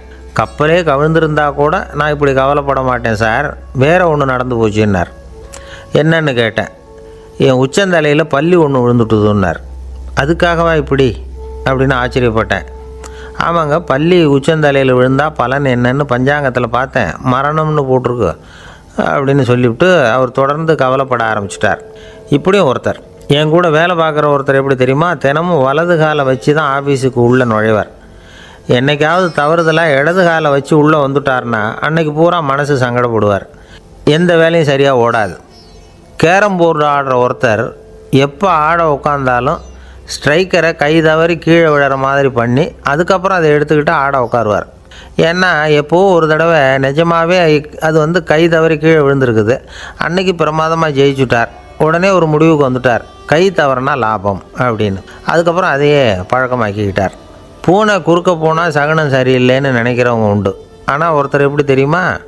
அவர் வெளியில் கிளம்புற சமயம் பக்கத்து வீட்டு ரேடியோவில் மியாவ் மியாவ் பூனை குட்டின்னு பாட்டு சத்தம் கேட்டால் கூட போதும். சகனம் சரியில்லைன்னு பிரயாணத்தை கேன்சல் பண்ணிவிடுவார். இப்போ இவ்வளவும் எதுக்கு சொல்கிறோம்னா அளவுக்கு மீறின சகுன நம்பிக்கைகள் இருக்குது பாருங்கள் இதோட பயமும் சேர்ந்துக்கிட்டதுன்னு வச்சுக்கோங்க. இது ஒருத்தருடைய மனநிலையை பாதிச்சிரும். இது வந்து உளவியல் நிபுணர்கள் சொல்கிற கருத்து. வாழ்க்கையே தடுமாற வச்சிரும். பாதுகாப்பு இல்லாத உணர்வு ஒரு விதமான டிப்ரெஷன் மனநிலை இதெல்லாம் தான் இதுக்கு காரணமாக அமையலாம். சில பேர் காய்கறி நறுக்க கத்தியை கையில் எடுத்தால் கூட நேரம் சரியாக இருக்கா? அப்படின்னு பார்த்துட்டு தான் வேலையை ஆரம்பிக்கிறது வழக்கம். அறிவு தான் மனசுக்கு வாத்தியாராக இருக்கணும். அப்போ தான் வாழ்க்கை வந்து நிம்மதியாக இருக்கும். அறிவு வந்து மனசு சொல்கிறபடியெல்லாம் கேட்க ஆரம்பிச்சுட்டுதுன்னா இடைஞ்சல் தான். ஒருத்தருக்கு ஏழாம் நம்பர் தான் ராசியான நம்பரான் ஏழாம் தேதி தான் எந்த காரியத்தையும் ஆரம்பிப்பாராம். ஏழு எழுத்து வர்றது மாதிரி பேரை மாற்றி வச்சுக்கிட்டார். ஏழு மணிக்கு தான் தினமும் எழுந்திருப்பார். ஏழாம் நம்பர் வீட்டில் தான் குடியிருக்கார். கல்யாணம் கூட ஏழாம் தேதி தான் பண்ணிக்கிட்டார். அவர் ஒரு நாள் குதிரை பந்தயத்துக்கு போனாராம். குதிரையோட பேரையெல்லாம் பார்த்தார். ஒரு குதிரையோட பேர் ஏழு எழுத்தில் அமைஞ்சிருந்தது. ஏழு தானே இவருக்கு அதிர்ஷ்ட நம்பர். அதனால் உடனே அது பேரில் பணத்தை கட்டினார். பந்தயம் நடந்தது. என்ன சார் ஆச்சுன்னு கேட்டாங்க. நான் பணம் கட்டின அந்த என்னோடய குதிரை ஏழாவதாக வந்து சேர்ந்தது சார் அப்படின்னாராம் சோகமாக